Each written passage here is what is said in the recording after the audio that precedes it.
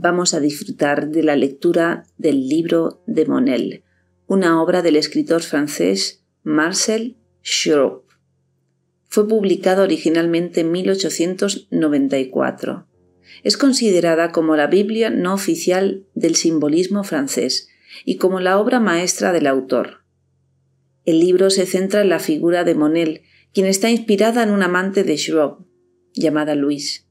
Era una joven de origen humilde que se prostituía ocasionalmente. Shaw la conoció poco antes de 1891 manteniendo contacto con ella hasta su muerte. Luis falleció el 7 de diciembre de 1893 a la edad de 25 años a causa de la tuberculosis. Su muerte afectó profundamente al escritor. 1. Palabras de Monel. Monel me halló en el páramo en donde yo erraba y me tomó de la mano. No debes sorprenderte, dijo, soy yo y no soy yo. Volverás a encontrarme y me perderás. Regresaré una vez más entre los tuyos, pues pocos hombres me han visto y ninguno me ha comprendido. Y me olvidarás, y me reconocerás y me olvidarás. Y Monel dijo, te hablaré de las pequeñas prostitutas y conocerás el comienzo. A los 18 años, Bonaparte, el asesino, se encontró a una pequeña prostituta bajo las puertas de hierro del Palais Royal. Tenía el semblante pálido y temblaba de frío. Pero había que vivir, dijo. Ni tú ni yo conocemos el nombre de aquella pequeña que Bonaparte llevó a su cuarto del hotel de Cherbourg en una noche de noviembre. Ella era de Nantes, en Bretaña. Estaba débil y cansada. Su amante la había abandonado. Era simple y buena. Un sonido muy dulce tenía su voz. De todo eso se acordó Bonaparte. Y pienso que después el recuerdo del sonido de su voz lo emocionó hasta las lágrimas, y que la buscó largo tiempo en las noches de invierno, pero no volvió a verla jamás. Pues tienes que saber que las pequeñas prostitutas no salen más que una vez de la muchedumbre nocturna por una tarea de bondad. La pobre Anne se acercó a Thomas de Kinsey, el comedor de opio, que desfallecía en Oxford Street bajo las grandes lámparas de aceite. Húmedos sus ojos, ella le acercó a los labios un vaso de vino dulce, lo abrazó y lo mimó. Después se sumió otra vez en la noche. Quizá murió al poco tiempo. Tosía, dice de Kinsey, la última noche que la vi. Tal vez vagaba todavía por las calles. No obstante, la pasión de su búsqueda, y por mucho que soportó las risas de aquellos a quienes se dirigía, Anne se había perdido para siempre. Cuando tuvo más tarde una casa caliente, a menudo pensó, entre lágrimas, que la pobre Anne había podido vivir allí a su lado. En lugar de ello se la representaba enferma o moribunda o desamparada en la insondable negrura de un burdel londinense y se había llevado consigo toda la amorosa piedad de su corazón. Mira, ellas profieren un grito de compasión por ustedes y les acarician la mano con su mano descarnada. No los comprenden a menos que sean muy desdichados, Lloran con ustedes y los consuelan. La pequeña Nelly vino hacia el convicto Dostoyevsky desde su casa abyecta, desahuciada de fiebre. Lo miró largo rato con sus grandes y negros ojos trémulos. La pequeña Sonia existió, como todas las otras. Abrazó al asesino Rodión después de la confesión de su crimen. Usted está perdido, dijo con un acento desesperado. Y de pronto se alzó para arrojarse a su cuello y abrazarlo. No, no hay ahora mismo sobre la tierra un hombre más desgraciado que tú, gimió en un arranque de piedad y estalló de repente en sollozos. Como Anne y como aquella que carece de nombre y se acercó al joven y triste Bonaparte, la pequeña Nelly se hundió en la niebla. ¿Qué fue de la pequeña Sonia, pálida y descarnada? Dostoyevsky no lo ha dicho. Ni tú ni yo sabemos si pudo ayudar a Raskolnikov hasta el final de su expiación. Yo no lo creo. Se fue muy dulcemente entre sus brazos, tras demasiado sufrir, y demasiado amar. Ninguna de ellas, debe saberlo, puede quedarse con ustedes. Estarían demasiado tristes y les da vergüenza quedarse. Cuando ustedes ya no lloran, ellas no se atreven a mirarlos, les enseñan la lección que hacen, que han de enseñarles y se van. Vienen a través del frío y la lluvia a besarlos en la frente y enjugar sus ojos, y las horribles tinieblas vuelven a atraparlas, pues deben, tal vez, irse a otra parte. Ustedes no las conocen sino mientras ellas los compadecen. No hay que pensar otra cosa, no hay que pensar en lo que ellas han podido hacer en las tinieblas. Nelly, en la horrible casa, Sonia borracha en un banco del boulevard, Anne devolviendo el vaso vacío al tabernero en una calleja oscura, tal vez fueran crueles o cenas. Son criaturas de carne. Han salido de un sombrío callejón para dar un beso bajo la lámpara encendida de la calle. En ese momento eran divinas. Todo lo demás hay que olvidarlo. Monel guardó silencio y me miró. Yo he salido de la noche, dijo, y a ella regresaré, porque yo también soy una pequeña prostituta. Y Monel dijo, Tengo piedad de ti, tengo piedad de ti, amado mío.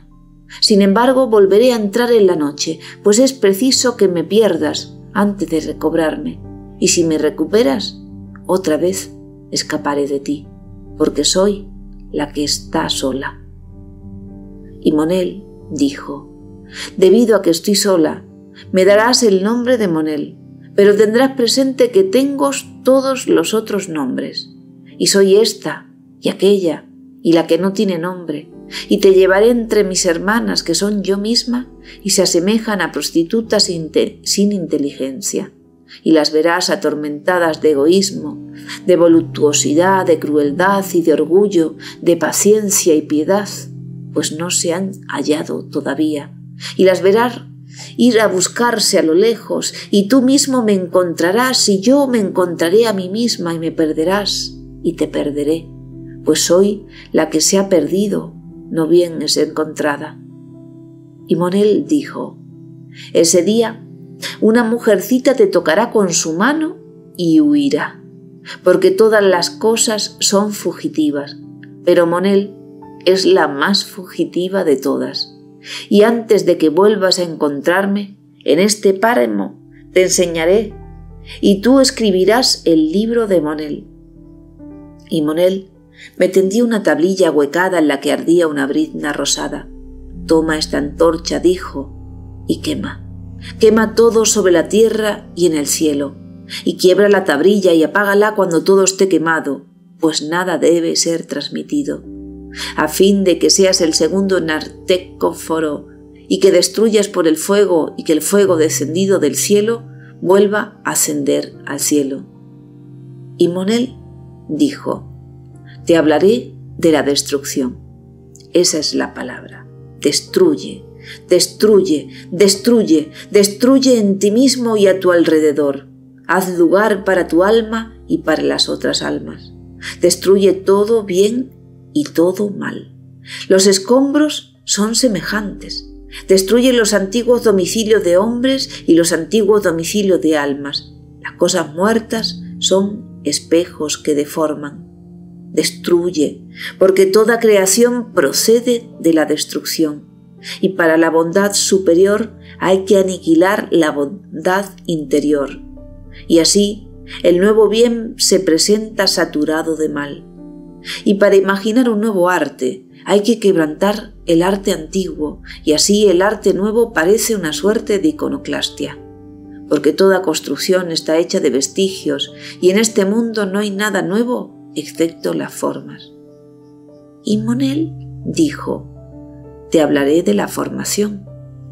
El deseo mismo de lo nuevo no es sino la ambición del alma que anhela formarse, y las almas rechazan las formas antiguas lo mismo que las serpientes su antigua piel, y los pacientes recolectores de viejas pieles de serpiente afligen a las más jóvenes serpientes porque poseen un poder mágico sobre ellas porque aquel que detenta las antiguas pieles de serpiente impide a las jóvenes serpientes transformarse. Es por eso que las serpientes desollan sus cuerpos en el verde socavón de una profunda espesura, y una vez al año se reúnen las jóvenes en círculo y queman las viejas pieles. Parécete, pues, a las estaciones destructoras y formadoras. Construye tú mismo tu casa y quémala tú mismo. No arrojes escombros a tus espaldas, que cada uno se valga de sus propios despojos. No construyas jamás en la noche pasada, deja que tus edificios escapen a la deriva. Contempla nuevos edificios en los más mínimos impulsos de tu alma. Para todo deseo nuevo, engendra dioses nuevos. Y Monel dijo, Te hablaré de los dioses. Deja morir a los dioses antiguos. No te quedes sentado como una plañidera al lado de sus tumbas, porque los antiguos dioses se levantan de sus sepulcros y no protejas a los dioses jóvenes envolviéndolos en cintas, que todo Dios se alce, no bien creado, que toda creación perezca, no bien creada, que el viejo Dios ofrezca su creación al Dios joven para que sea triturada por él, que todo Dios sea Dios del momento. Y Morel dijo, te hablaré de los momentos. Mira todas las cosas bajo el aspecto del momento. Deja ir tu yo a merced del momento. Piensa en el momento. Todo pensamiento que perdura es contradicción. Ama el momento. Todo amor que perdura es odio. Sé sincero con el momento. Toda sinceridad que perdura es mentira. Sé justa para con el momento. Toda justicia que perdura es injusticia. Actúa para con el momento. Toda acción que perdura es un reino muerto. Sé feliz con el momento. Toda felicidad que perdura es desventura. Ten respeto por todos los momentos y no tiendas lazos entre las cosas. No retrases el momento, extenuarías una agonía. Observa todo momento. Es una cuna y un ataúd. Que toda vida y toda muerte te resulten extrañas y nuevas. Y Monel dijo, Te hablaré de la vida y de la muerte. Los momentos se asemejan a bastones mitad blancos y mitad negros. No arregles tu vida mediante dibujos hechos con las mitades blancas, pues de inmediato toparás los dibujos con las mitades negras que cada negrura esté transida de la espera de la blancura futura. No digas, vivo ahora, moriré mañana. No partas la realidad entre vida y muerte. Di, ahora vivo y muero. Escancia en cada momento la totalidad positiva y negativa de las cosas. La rosa del otoño prevalece una estación. Cada mañana se abre, todas las noches se cierra. Aseméjate a las rosas. Ofrece tus hojas al arrebato de las voluptuosidades, al pisoteo de los dolores. En ti todo éxtasis esté moribundo, que toda voluptuosidad aspire a la muerte. Que todo dolor pase por ti como un insecto que ha de levantar el vuelo. No te cierres sobre el insecto que carcome, no te enamores de esos cárabos negros. Que todo gozo pase por ti como un insecto que ha de levantar el vuelo. No te cierres sobre el insecto que succiona, no te enamores de esas cetonias doradas. Que toda inteligencia centellee y se apague en ti en el lapso de un relámpago. Que tu dicha se divida en fulguraciones. Así, tu parte de gozo será igual a la de los otros. Ten del universo una contemplación de atomista no te resistas a la naturaleza, no apoyes contra las cosas los pies de tu alma, que tu alma no te dé vuelta la cara como el niño malo. Anda en paz con la luz roja de la mañana y el resplandor gris del anochecer. Sé el alba mezclada al ocaso. Mezcla la vida con la muerte y divídelas en momentos. No esperes la muerte. Ella está en ti Sé su camarada y tenla contra ti. Es como tú mismo. Muere de tu muerte. No codicies las muertes antiguas. Varía los géneros de muerte con los géneros de vida. Ten por viva toda cosa incierta y toda cosa segura por muerta. Y Monel dijo, te hablaré de las cosas muertas. Quema cuidadosamente a los muertos y desparrama sus cenizas a los cuatro vientos del cielo. Quema cuidadosamente las acciones pasadas y apisona las cenizas, pues el fénix que renacería de ellas sería el mismo. No juegues con los muertos, no acaricies sus rostros, no te rías de ellos y no llores sobre ellos, olvídalos. No te fíes de las cosas pasadas, no te ocupes para nada en construir bellos ataúdes para los momentos pasados. Piensa en matar los momentos por venir. Desconfía de todos los cadáveres. No abraces a los muertos, ellos asfixian a los vivos. Consagra a las cosas muertas el respeto que se debe a las piedras en construcción. No manches tus manos en la, en la extensión de las líneas gastadas. Purifica tus dedos en aguas nuevas. Respira el hálito de tu boca y no aspires los alientos muertos. No contemples las vidas pasadas más que tu vida pasada. No colecciones sobres vacíos. No lleves en ti ningún cementerio. Los muertos producen pestilencia. Y Monel dijo, Te hablaré de tus acciones. Que toda copa de barro transmitida se pulverice entre tus manos. Rompe toda copa en la que hayas bebido. Sopla sobre la lámpara de vida que el corredor te alcanza, pues toda lámpara antigua hace humo. No te legues nada a ti mismo, ni placer ni dolor. No seas esclavo de ninguna vestimenta, ni de alma, ni de cuerpo. No golpees nunca con la misma cara de la mano no te contemples en la muerte. Deja ir tu imagen en el agua que corre. Huye de las ruinas y no llores en medio de ellas. Cuando por la noche te quites tus ropas, desvístete de tu alma de la jornada, desnúdate en todos los momentos. Toda satisfacción te parecerá mortal. Azótala de antemano. No digieras los días pasados, nútrete de las cosas futuras no confíes las cosas pasadas porque están muertas. Confiesa ante ti las cosas futuras. No desciendas a recoger las flores junto al camino. Conténtate con toda apariencia, pero abandona la apariencia y no te vuelvas. Nunca te vuelvas.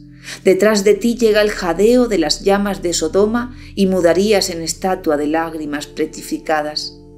No mires detrás de ti no mires demasiado adelante, si miras en ti, que todo sea blanco. No te sorprendas de nada por la comparación del recuerdo, sorpréndete de todo por la novedad de la ignorancia.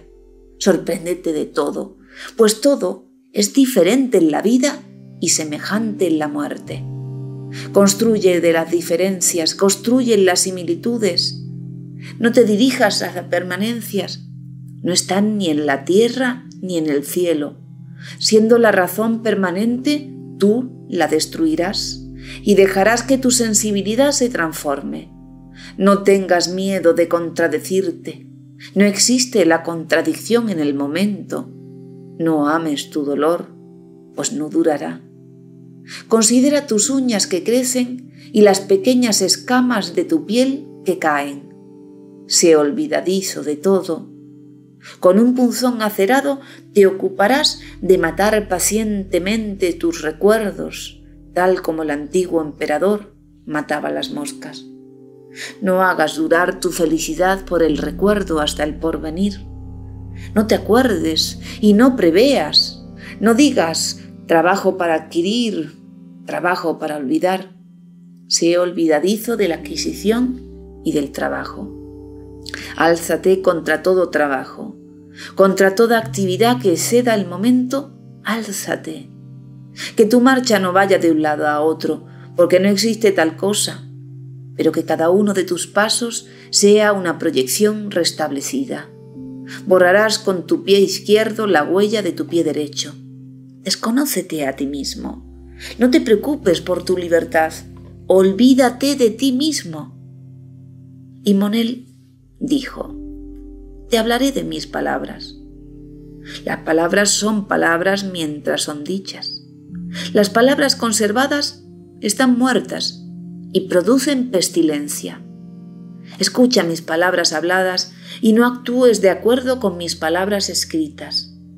Después de hablar así en el páramo, Monel cayó y se puso triste porque debía sumirse otra vez en la noche. Y de lejos me dijo, olvídame y te seré restituida. Miré por la planicie y vi alzarse a las hermanas de Monel. 2. Las hermanas de Monel. La egoísta. Por el pequeño cerco que rodeaba a la casa de enseñanza gris en lo alto del acantilado, se tendió un brazo infantil con un paquete atado con un lacito rosa. Primero toma esto, dijo una voz de niña. Cuidado, puede romperse. Después ayúdame. Una fina lluvia caía monótonamente sobre las cavidades de la roca, la calita profunda, y cribaba el remolino de las olas al pie del acantilado. El grumete que espiaba en la cerca se asomó y dijo en voz baja, Pasa, vamos, apúrate. La niña gritó, No, no, no, no puedo. Hay que esconder mi paquete. Quiero llevarme mis cosas. Egoísta, egoísta. Si ves que me estoy mojando. El grumete ladeó la boca y empuñó el paquetito. El papel empapado reventó por el barro y por el barro rodaron triángulos de seda amarilla y violeta cuajados de flores, cintitas de terciopelo, un pequeño pantalón de muñeca en tela de batista, un corazón de oro hueco con una bisagra y un carretel nuevo de hilo rojo. La niña Pasó por encima del cerco, se pinchó las manos en las ramitas duras y sus labios temblaron. Mira qué ser, mira qué terco eres, dijo. Todas mis cosas se arruinaron. Su nariz se alzó. Sus cejas se acercaron una a la otra. Su boca se distendió y se puso a llorar. Déjame, déjame. Ya no quiero nada contigo. Vete, me haces llorar.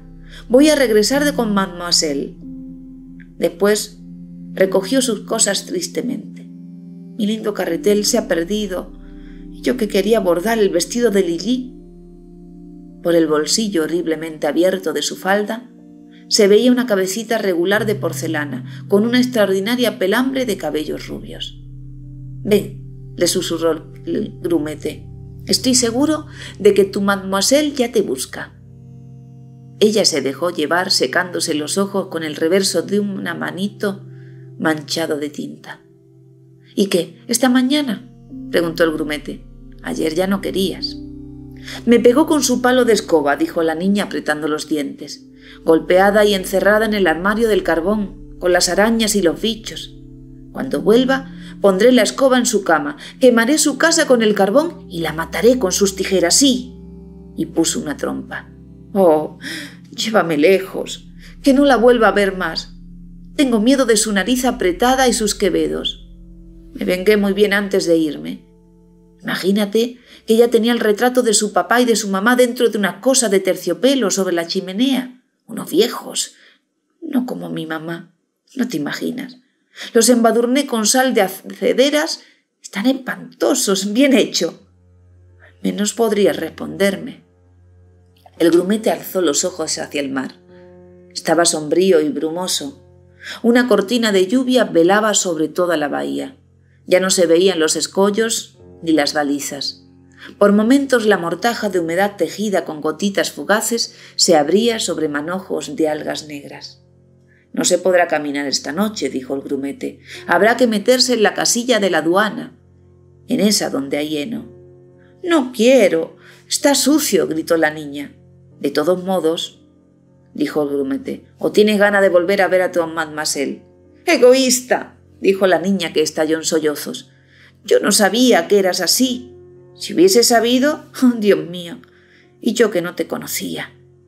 No tenías más que quedarte.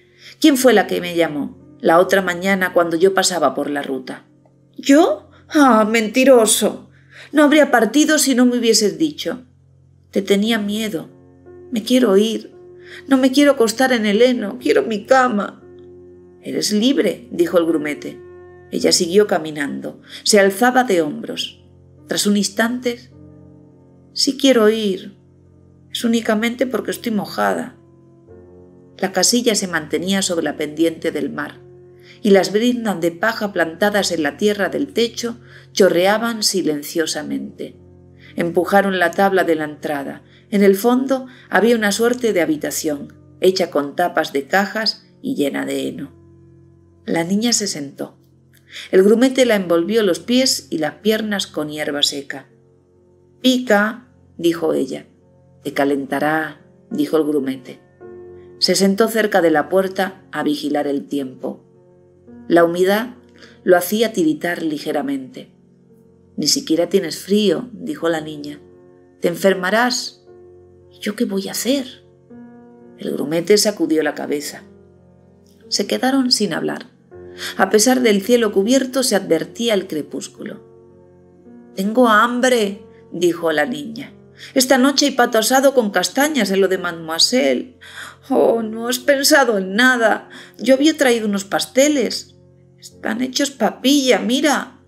Extendió la mano. Sus dedos estaban pegados en una sopa de pan helada.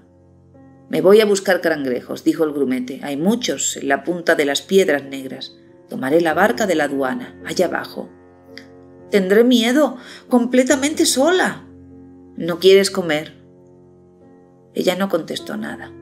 El grumete se sacudió las ramitas pegadas a su marinera, se deslizó al exterior. Lo envolvió la lluvia gris. Ella oyó sus pasos succionados en el barro. Después hubo unas ráfagas y el gran silencio ritmado del chaparrón.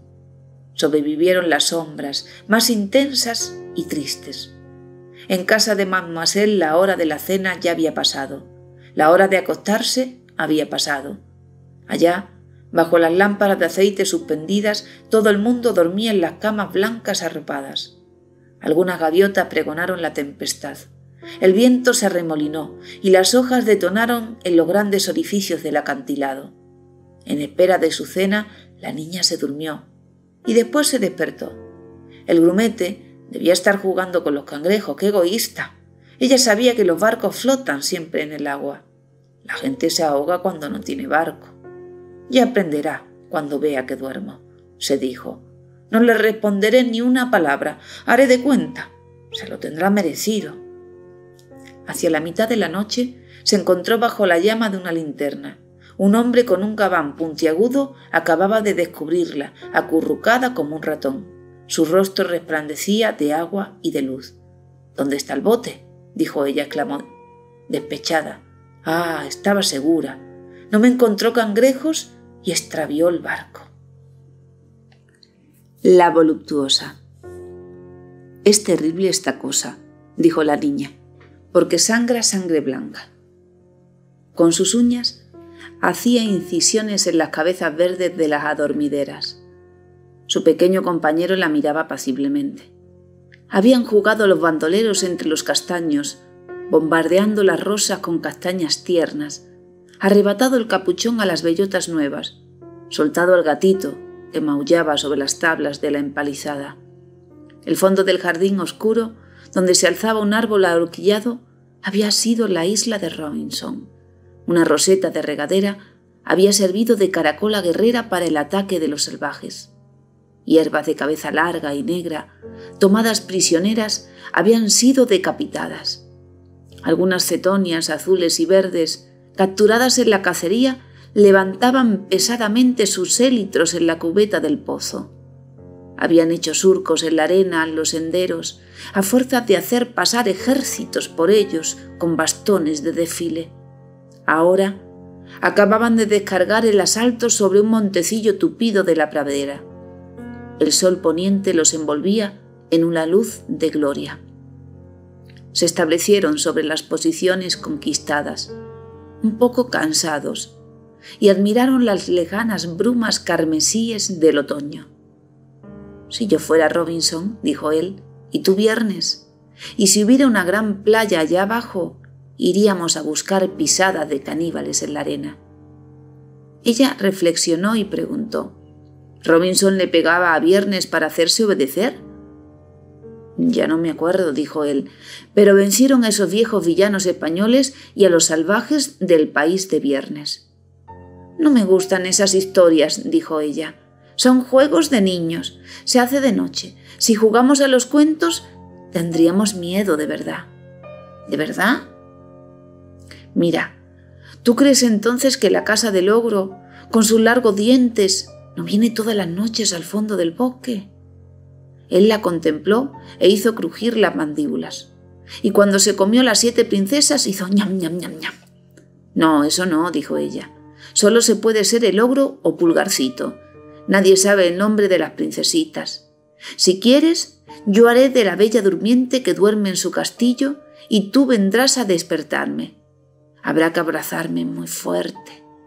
Los príncipes abrazan de un modo terrible, ¿sabes? Él se sintió tímido y respondió, Me parece que es demasiado tarde para dormir en la hierba.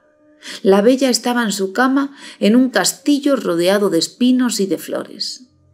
Entonces juguemos a barba azul, dijo ella. Yo voy a ser tu mujer y tú me prohibirás entrar en la habitación pequeña. Comienza. Tú vienes a desposarme.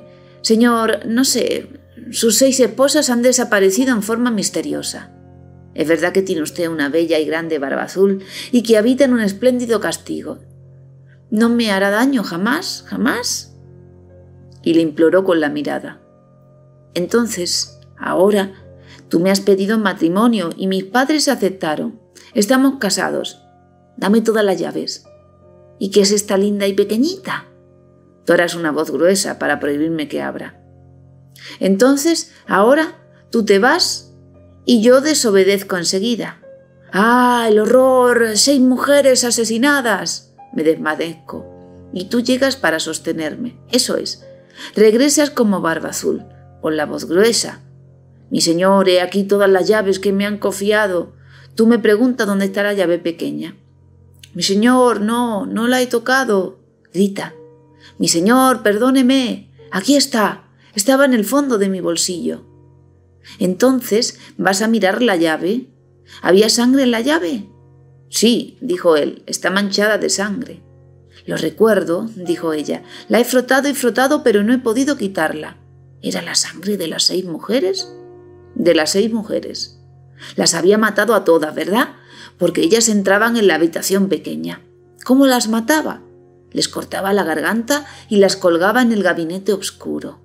Y la sangre corría por sus pies hasta el suelo.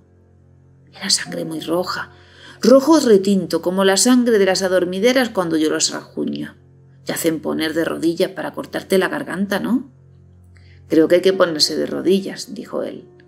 Va a ser muy divertido, dijo ella. ¿Pero me cortarás la garganta como de verdad? Sí, pero Barba Azul no pudo matarla, dijo él. ¿Y eso qué?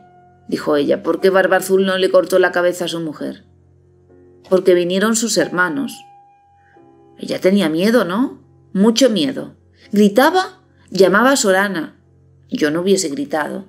Sí, pero, dijo él, Barba Azul habría tenido tiempo de matarle. La hermana Ana estaba en lo alto de la torre para mirar la hierba que reverdecía. Sus hermanos, que eran mosqueteros muy fuertes, llegaron con sus caballos a todo galope. Yo no quiero jugar así, dijo la niña. Me aburre, puesto que no tengo ninguna hermana Ana, fíjate. Se volvió gentilmente hacia él. Dado que mis hermanos no vendrán, tienes que matarme, mi pequeño barba azul, matarme bien fuerte, bien fuerte. Se puso de rodillas, se tomó los cabellos, los llevó hacia adelante y alzó la mano. Lenta, los ojos cerrados y las pestañas trémulas, la comisura de los labios agitada por una sonrisa nerviosa, tendía el vello ligero de su nuca, su cuello y sus hombros voluptuosamente recogidos al filo cruel del sable de barba azul. ¡Ah! ¡Ah! gritó. Esto me va a hacer daño. La perversa. ¡Mache! La voz ascendió por la abertura cuadrada del piso. Un enorme tornillo de encina polida atravesaba el techo redondo y giraba con un sonido ronco. El ala de tela gris, clavada en su esqueleto de madera, se volaba delante del tragaluz en medio del polvo de sol. Más abajo, dos bestias de piedra parecían luchar regularmente mientras el molino se afanaba y temblaba sobre su base. Cada cinco segundos, una sombra larga y recta cortaba el pequeño recinto. La escalerilla que trepaba hasta el caballete interior estaba empolvada de harina. Maché, ¿vienes? insistió la voz. Mache había apoyado su mano contra el tornillo de encina. Un frotamiento continuo le hacía cosquillas en la piel mientras ativaba, un poco inclinada, el campo llano. Allí la loma del molino se hacía redonda como una cabeza afeitada. Las alas giratorias rozaban casi la hierba corta en la que sus imágenes negras se perseguían sin jamás alcanzarse. Tantos asnos parecían haberse rascado el lomo en la panza del muro escasamente cementado que el reboque dejaba ver las manchas grises de las piedras. En la base del montículo, un sendero horadado de secas huellas de carro se inclinaba hacia el largo estanque en el que se remojaban las hojas rojas. Mache, nos vamos, gritó otra vez la voz. Bueno, váyanse, dijo Mache por lo bajo. La portita del molino chirrió. Vio temblar las dos orejas del asno que palpaba la hierba con el casco con precaución. Un voluminoso saco se hundía en su albarda. El viejo molinero y su peón atizaban la grupa del animal. Descendieron todos por el camino irregular. Mache se quedó sola, con la cabeza asomada por el tragaluz. Como sus padres la habían encontrado una noche tendida boca abajo en su cama, la boca llena de arena y de carbón, habían consultado a los médicos.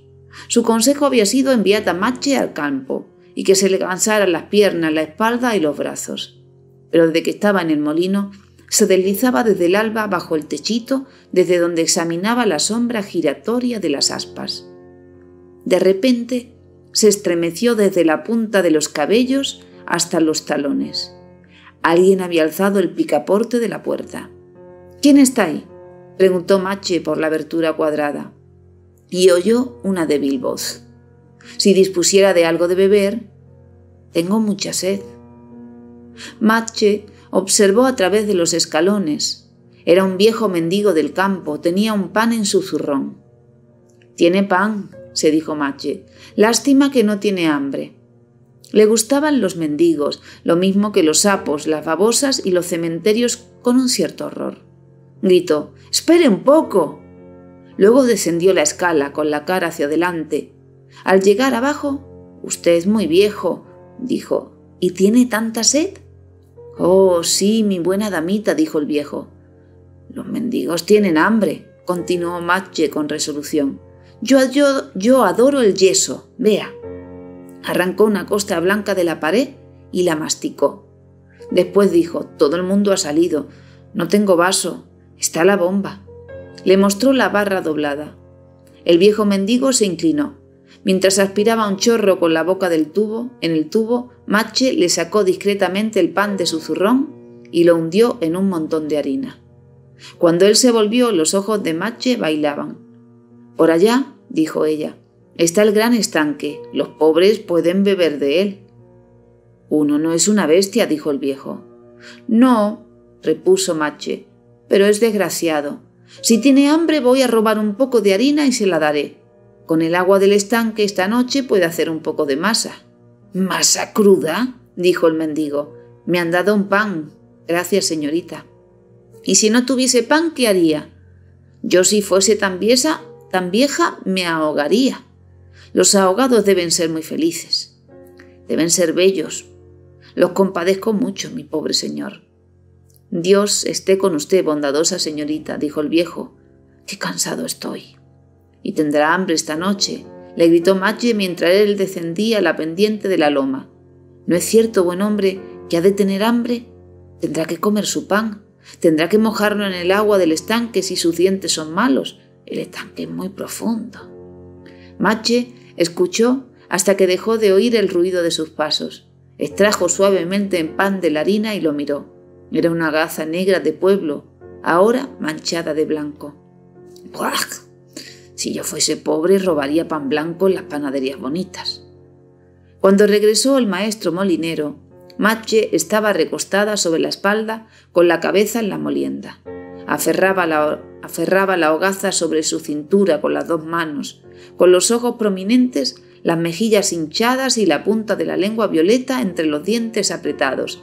Trataba de imitar la imagen que ella se hacía de una persona ahogada. Después de tomar la sopa. Patrón, dijo Mache, ¿no es cierto que antes, hace mucho tiempo, vivía en este molino un gigante enorme que hacía su pan con huesos de hombres muertos? El molinero dijo, son cuentos.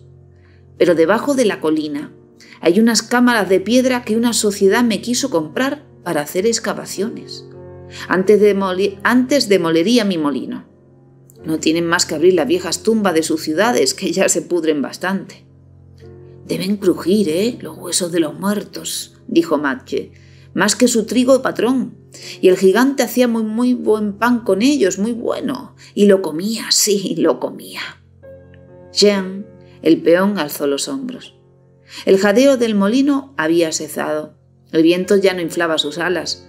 Las dos bestias circulares de piedra habían dejado de luchar, una pesada sobre otra silenciosamente.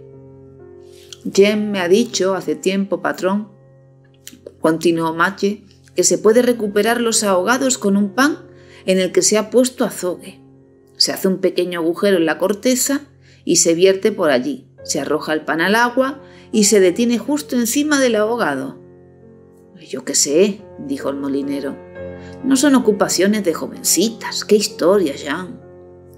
Es la señorita Mache que me la preguntó, respondió el muchacho. Yo pondría municiones de plomo, dijo Mache.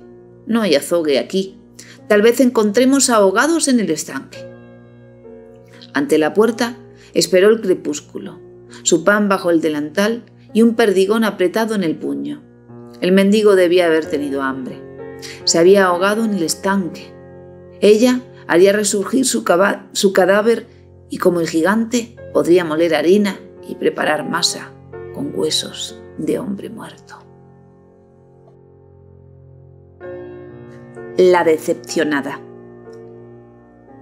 En la confluencia de aquellos dos canales había una esclusa alta y negra.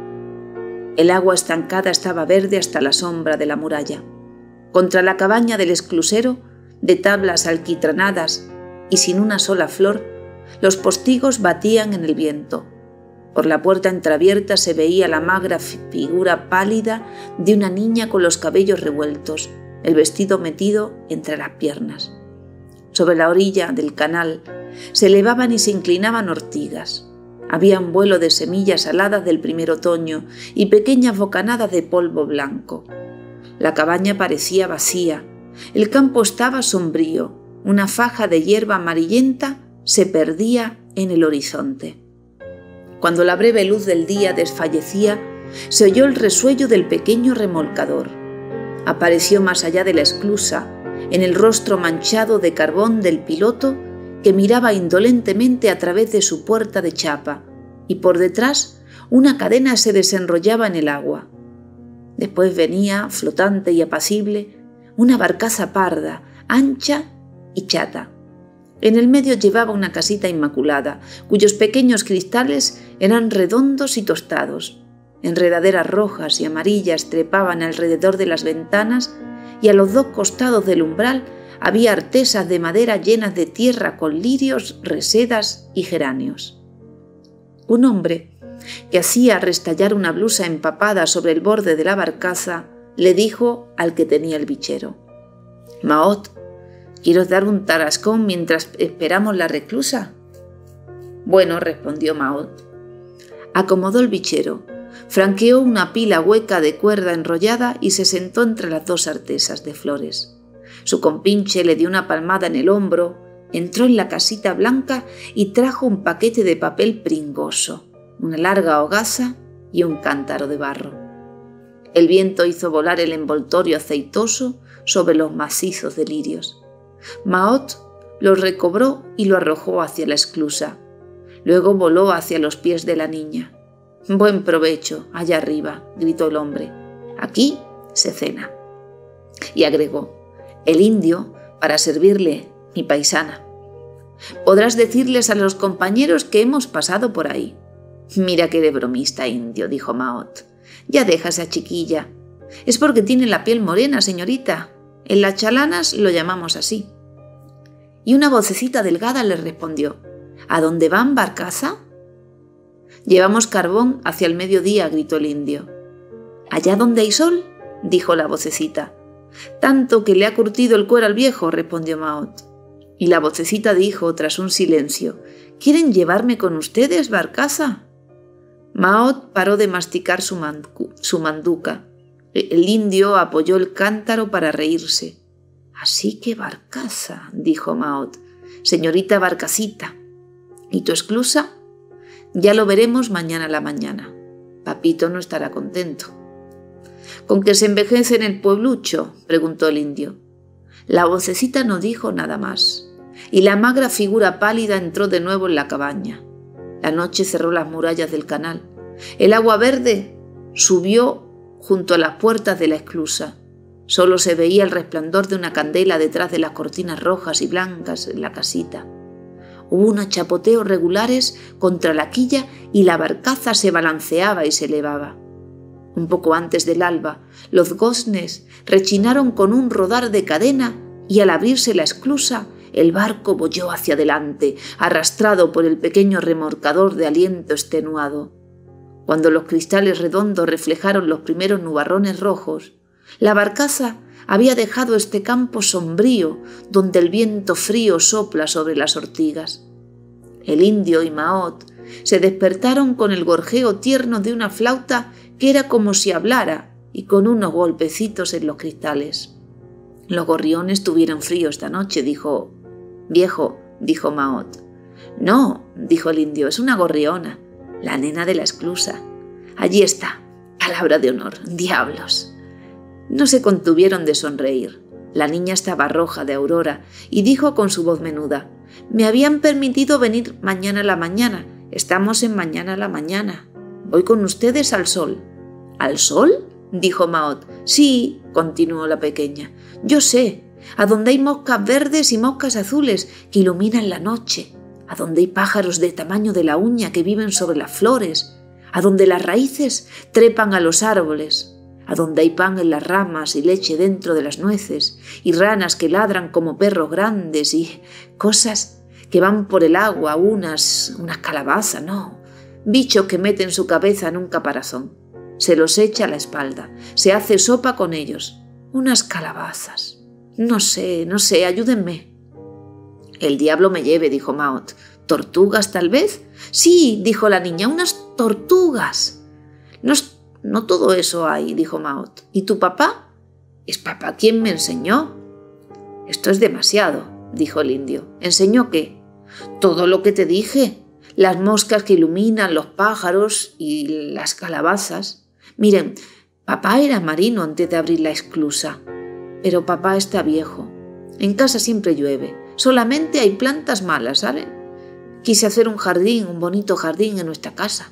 Afuera hay demasiado viento hubiese levantado las tablas del piso en el medio, hubiese puesto tierra buena y después hierba, después rosas y después flores rojas que se cierran de noche con lindos pajaritos, ruiseñoles, verdedores y tordidos para conversar. Pero papá me lo prohibió. Me dijo que echaría a perder la casa y quedaría humedad. Y yo no quería que hubiese humedad, así que vengo con ustedes para ir allá. La barcaza flotaba suavemente.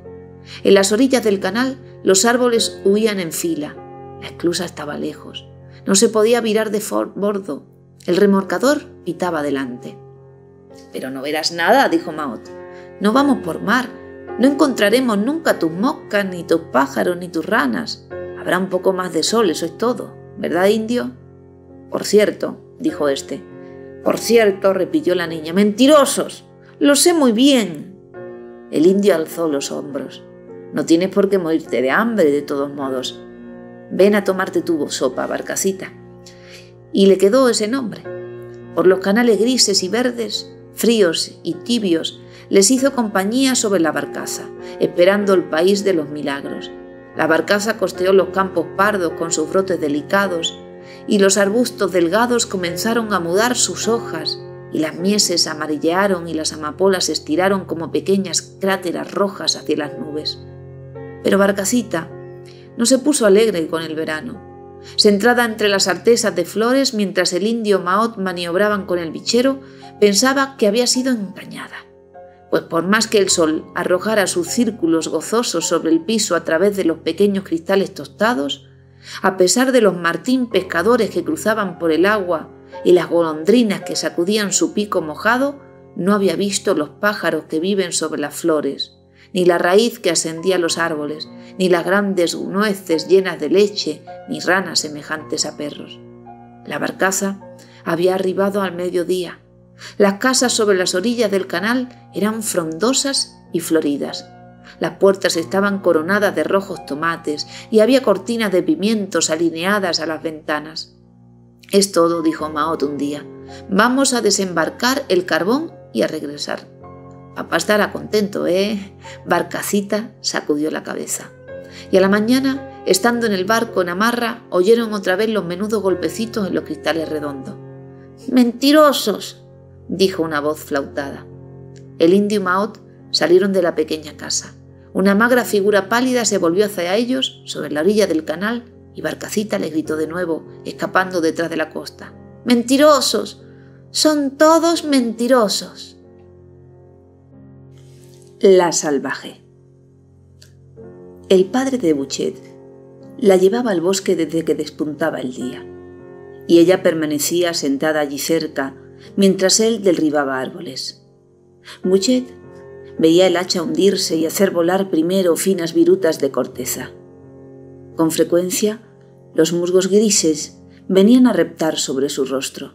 ¡Cuidado! gritaba el padre de Buchet cuando el árbol se inclinaba con un crujido que parecía subterráneo. Ella se quedaba un poco triste ante el monstruo echado en el claro, con sus ramas machucadas y sus ramitas quebradas. Al caer la noche, un círculo rojizo de cúmulos de carbón se encendía en la sombra. Buchet sabía a qué hora había que abrir la canasta de junco para tender a su padre el cántaro de grés y el trozo de pan moreno. Él se recostaba en medio de las ramitas reventadas para masticar con parsimonia. Buchet tomaría la sopa al regresar. Corría alrededor de los árboles marcados y si su padre no la miraba, se ocultaba para hacer hu. Había allí una caverna negra a la que llamaban Santa María, Boca del Lobo llena de zarzas y reverberante de ecos. Alzada en puntas de pie, Bouchet la examinaba de lejos. Una mañana de otoño, aún ardiendo de aurora las cinas descoloridas de la floresta, Bouchet vio estremecerse una cosa verde delante de la boca del lobo. Esa cosa tenía brazos y piernas, y la cabeza parecía la de una niña de la misma edad de Bouchet. Al principio, Bouchet tuvo miedo de acercarse, ni siquiera se atrevía a llamar a su padre. Pensaba que aquella era una de las personas que respondían en la boca del lobo cuando allí se hablaba fuerte. Cerró los ojos, temiendo moverse y atraer algún ataque siniestro. Inclinando la cabeza, oyó un sollozo que venía de por allí. Aquella extraña niña verde lloraba. Entonces, Buchet volvió a abrir los ojos y tuvo pena, pues veía la cara verde dulce y triste, bañada en lágrimas, y dos pequeñas manos verdes se apretaban sobre la garganta de la niña extraordinaria. Quizás se cayó en unas hojas malas que destiñen, se dijo Bouchet. Y arrojada, atravesó helechos erizados de agujas y de zarcillos hasta tocar casi el singular semblante. Uno de los bracitos verdosos se alargaron hacia Bouchet en medio de las zarzas marchitas. Es parecida a mí, se dijo Bouchet, pero tiene un color curioso. La criatura verde, llorosa, estaba semivestida con una suerte de túnica hecha de hojas cosidas.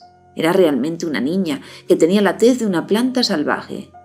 Muchet imaginó que sus pies estaban arraigados en la tierra, pero los movía muy ágilmente. Buchet le acarició los cabellos y la tomó de la mano.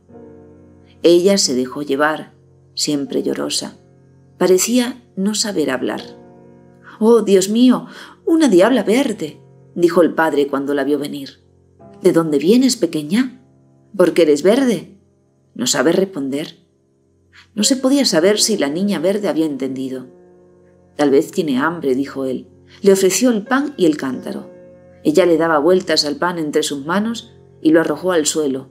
Sacudió el cántaro para escuchar el sonido del vino. Bouchet suplicó a su padre que no dejara a esa pobre criatura en la floresta durante la noche. Los cúmulos de carbón brillaron uno a otro en el crepúsculo y la niña verde miraba los fuegos temblando. Cuando entró en la pequeña casa, retrocedió ante la lámpara. No pudo acostumbrarse a las llamas y daba un grito cada vez que se encendía el candil. Al verla, la madre de Bouchet hizo la señal de la cruz. Dios me ayude, dijo, si es que es un demonio, pero seguro que una cristiana no es. Esta niña verde no quiso tocar ni el pan, ni la sal, ni el vino, de donde se evidenciaba que no podía haber sido bautizada ni presentada a la comunión. El cura fue advertido y atravesó el umbral en el momento en que Bouchet ofrecía a la criatura unas habas con vaina. Pareció muy alegre y de inmediato se puso a partir el tallo con sus uñas, creyendo encontrar habas en su interior. Decepcionada, volvió a llorar hasta que Bouchet le abrió una vaina. Entonces mordisqueó las habas mirando al sacerdote. Aunque hicieron venir al maestro de escuela, no se le pudo hacer entender una palabra humana, ni pronunciar un sonido articulado. Lloraba, reía o daba gritos. El cura la examinó muy cuidadosamente, pero no consiguió descubrir en su cuerpo ninguna marca del demonio.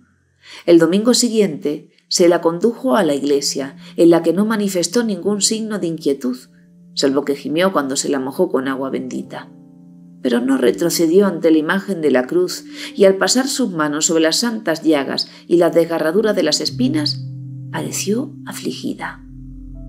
A la gente de la aldea se le despertó una gran curiosidad, a algunos temor, y a pesar de la opinión del cura, se habló de ella como la diabla verde.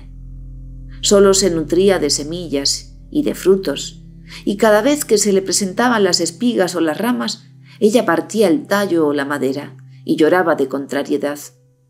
Bouchet no consiguió enseñarle dónde había que buscar las semillas de trigo o las cerezas, y su decepción era siempre la misma.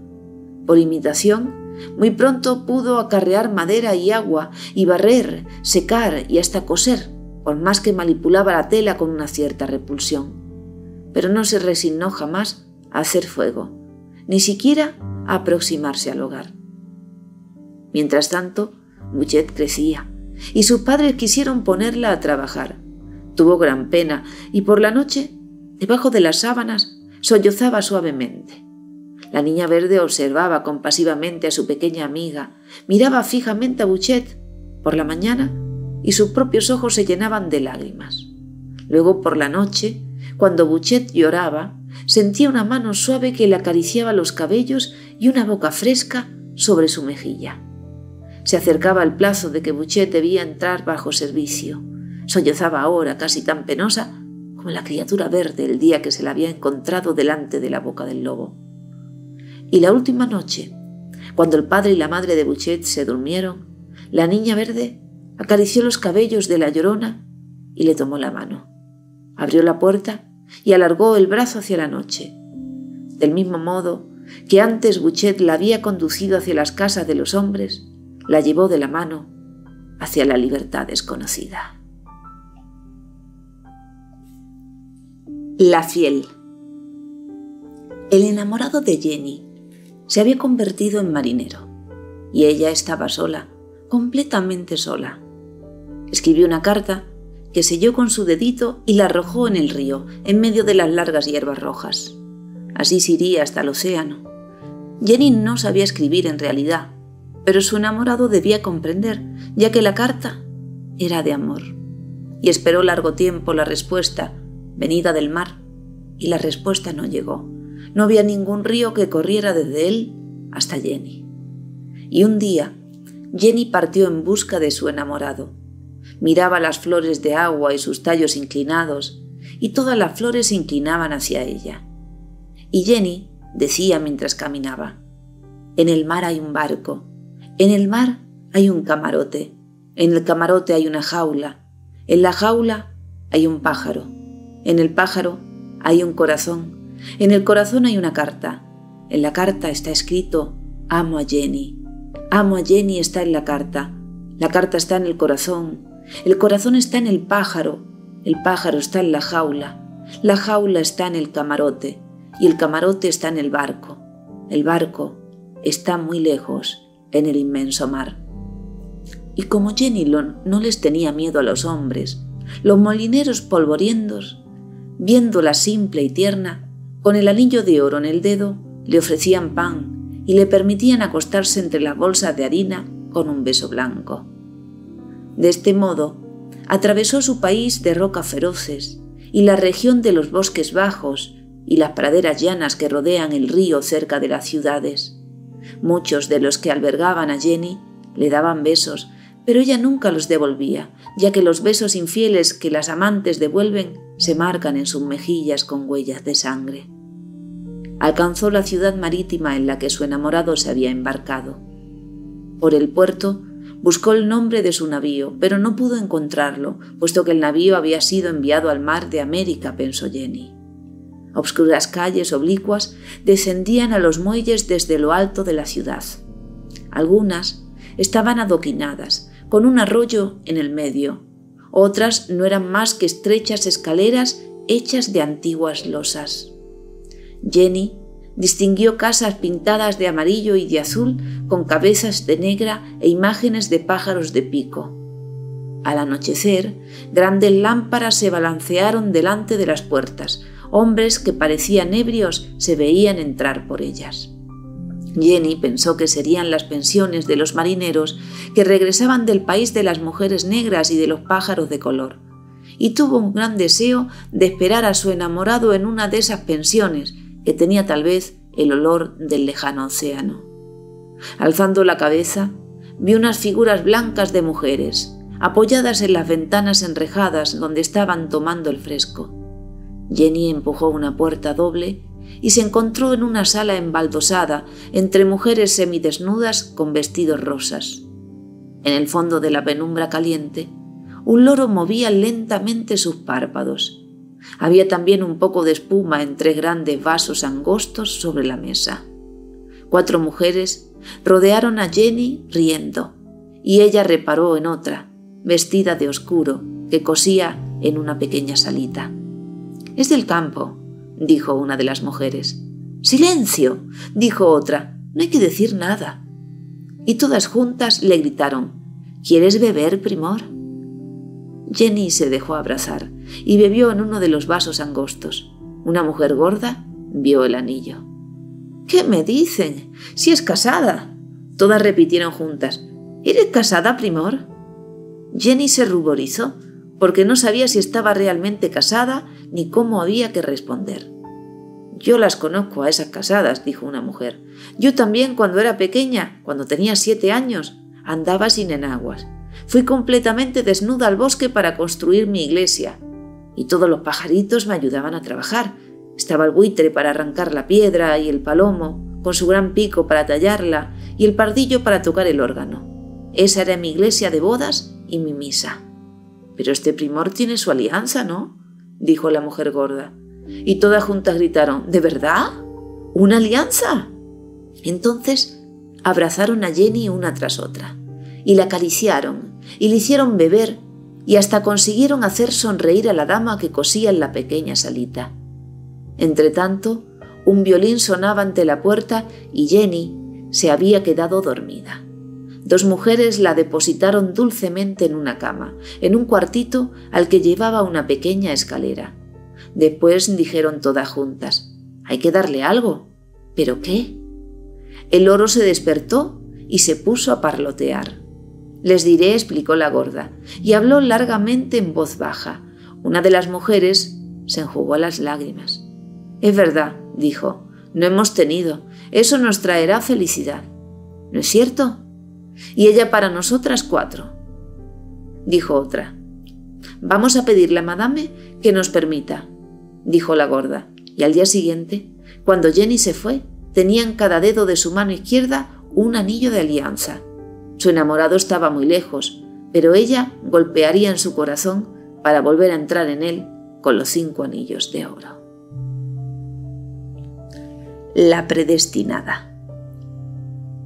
No bien tuvo altura suficiente, Ilse tomó la costumbre de ir todas las mañanas ante su espejo y decir, Buen día, mi pequeña Ilse. Después besaba el vidrio frío y fruncía los labios. La imagen parecía venir solamente, pero estaba muy lejos en realidad. La otra Ilse, más pálida, que se alzaba en las profundidades del espejo, era una prisionera con la boca helada. Ilse sentía pena por ella, porque parecía triste y cruel. Su sonrisa matinal era un alba desvaída, teñida aún del horror nocturno. Sin embargo, Ilse la quería, y le hablaba así. Nadie te dice buen día, pobre pequeña Ilse. Vamos, abrázame. Hoy iremos a pasear, Ilse. Mi enamorado vendrá a buscarnos. Ven con nosotros. Ilse se volvía y la otra Ilse melancólica se escabullía hacia la sombra luminosa. Ilse le mostraba sus muñecas y sus vestidos. Juega conmigo, vístete conmigo. La otra Ilse, celosa, también levantaba hacia Ilse unas muñecas más blancas y vestidos descoloridos. No hablaba, tan solo movía los labios al mismo tiempo que Ilse. A veces, Ilse se irritaba como los niños contra la dama muda, que a su vez se irrita también. Mala, mala, Ilse, gritaba. Repóndeme, abrázame. Golpeaba el espejo con la mano. Una mano extraña, que no pertenecía a ningún cuerpo, aparecía delante de la suya. Ilse jamás pudo alcanzar a la otra Ilse. La perdonaba por la noche, feliz de volver a encontrarla. Saltaba de su cama para abrazarla y le murmuraba, Buen día, mi pequeña Ilse. Cuando Ilse tuvo un verdadero novio, lo llevó ante su espejo y dijo a la otra Ilse, Mira mi enamorado, y no lo mires demasiado, es mío, pero quiero mostrártelo. Después de que nos hayamos casado, le permitiré abrazarte conmigo todas las mañanas. El novio se puso a reír. Ilse en el espejo sonrió también. ¿De verdad que es bello y que yo lo amo? Dijo Ilse. Sí, sí, respondió la otra Ilse. Si lo miras demasiado no te abrazaré más, dijo Ilse. Soy tan celosa como tú. Adiós, mi pequeña Ilse. A medida que Ilse aprendió el amor, Ilse en el espejo se fue poniendo más triste, pues su amiga ya no venía a besarla por la mañana. La tenía en el olvido. Era más bien la imagen de su novio lo que acudía después de la noche para el despertar de Ilse. Durante la jornada, Ilse ya no, ya no veía a la dama en el espejo, mientras que su novio sí se fijaba en ella. Ah, decía Ilse, ya no piensas más que en mí, malvado. A la otra es a quien miras. Es una prisionera, jamás vendrá. Está celosa de ti, pero yo soy más celosa que ella. No la mires más, mi amado, mírame a mí. Ilse del espejo. Mala, te prohíbo que respondas a mi novio. No puedes venir, no podrás venir jamás. No me lo quites, mala Ilse. Después de que nos hayamos casado, le permitiré abrazarte conmigo. Ríete. Ilse, estarás con nosotros. Ilse se puso celosa de la otra Ilse. Si el día caía sin que el amado viniese, tú lo echas, tú lo echas, gritaba Ilse, con tu mala cara. Mala, vete, déjanos. E Ilse ocultó el espejo bajo una tela blanca y fina. Alzó un lado a fin de clavar el último clavito. Adiós, Ilse, dijo. No obstante, su novio seguía pareciendo cansado. No me ama más, pensó Ilse. Ya no viene. Me quedo sola. Sola. ¿Dónde está la otra Ilse? ¿Se fue con él? Con sus pequeñas tijeras de oro, hendió un poco la tela para mirar. El espejo estaba cubierto de una sombra blanca. Se ha ido, pensó Ilse. Hay que ser muy paciente, se dijo Ilse. La otra Ilse estará celosa y triste. Mi amado regresará. Yo sabré esperarlo. Todas las mañanas, contra su almohada, cerca de su rostro le parecía verlo, en su vela. Oh, amado mío, murmuraba, has vuelto. Buen día, buen día, mi dulce amado. Estiró la mano y tocó la sábana fría. Hay que ser muy paciente, volvió a decirse Ilse. Ilse esperó mucho tiempo a su novio. Su paciencia se fundió en lágrimas. Una niebla húmeda envolvió sus ojos. Toda su cara se arrugaba. Cada día, cada mes, cada año la agostaba con un dedo más pesado. Oh, amado mío, dijo Ilse, dudo de ti. Cortó la tela blanca en el centro del espejo y en el pálido bastidor apareció el cristal lleno de manchas oscuras.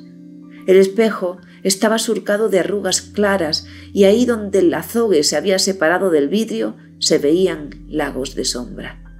La otra Ilse apareció en el fondo del espejo vestida de negro como Ilse, el rostro consumido, marcado por las señales extrañas del vidrio que ya no refleja en medio del vidrio que refleja. Y el espejo parecía haber llorado. Estás triste, como yo, dijo Ilse. La dama del espejo lloró. Ilse la besó y dijo, Buen día, mi pobre Ilse. Y al entrar en su habitación, con su lámpara de aceite en la mano, Ilse se sorprendió. Lámpara de aceite en mano, la otra Ilse avanzaba hacia ella con la mirada triste. Ilse levantó su lámpara por encima de su cabeza y se sentó sobre su cama. La otra Ilse levantó su lámpara por encima de su cabeza y se sentó junto a ella. Comprendo, pensó Ilse. La dama del espejo se ha liberado. Vino a buscarme. Voy a morir. La soñadora. Tras la muerte de sus padres, Marjolaine se quedó en su casita con su vieja nodriza. Le habían dejado un techo de caña bruñida y el manto de la gran chimenea pues el padre de Marjolaine había sido narrador y constructor de sueños. Algún amigo de sus hermosas ideas le había prestado su tierra para construir un poco de dinero para soñar. Durante largo tiempo, había mezclado diversas especies de arcilla con polvos de metales para cocer un esmalte sublime. Había intentado fundir y dorar extrañas cristalerías, había modelado núcleos de pasta dura perforados con linternas, y el bronce enfriado se irisaba como la superficie de los charcos. Pero solo quedaban de él dos o tres crisoles negruzcos, planchas gastadas de bronce, deformadas de escorias y siete grandes ánforas descoloridas encima del hogar. Y de la madre de Marjolaine, una hija piadosa del campo, no quedaba nada, pues por el arcillero había vendido hasta su rosario de plata. Marjolaine creció al lado de su padre, que llevaba un delantal verde y cuyas manos estaban siempre terrosas y las pupilas inyectadas de fuego. Ella admiraba las siete ánforas de la chimenea, tiznadas de humo, llenas de misterio, semejantes a un arco iris cóncavo y ondulado. Morgana hubiera hecho salir del ánfora sangrante un bandolero embetunado con un sable recubierto de flores de damasco. En el ánfora anaranjada se podía, como Aladino, encontrar frutos de rubí, ciruela de amatista, cereza de granate, membrillos de topacio, racimos de ópalo, vallas de diamante. El ánfora amarilla estaba llena de polvo de oro que Kamalalazam había escondido debajo de unas olivas. Se veía un poco una de las olivas debajo de la cubierta, y el borde del vaso era brillante.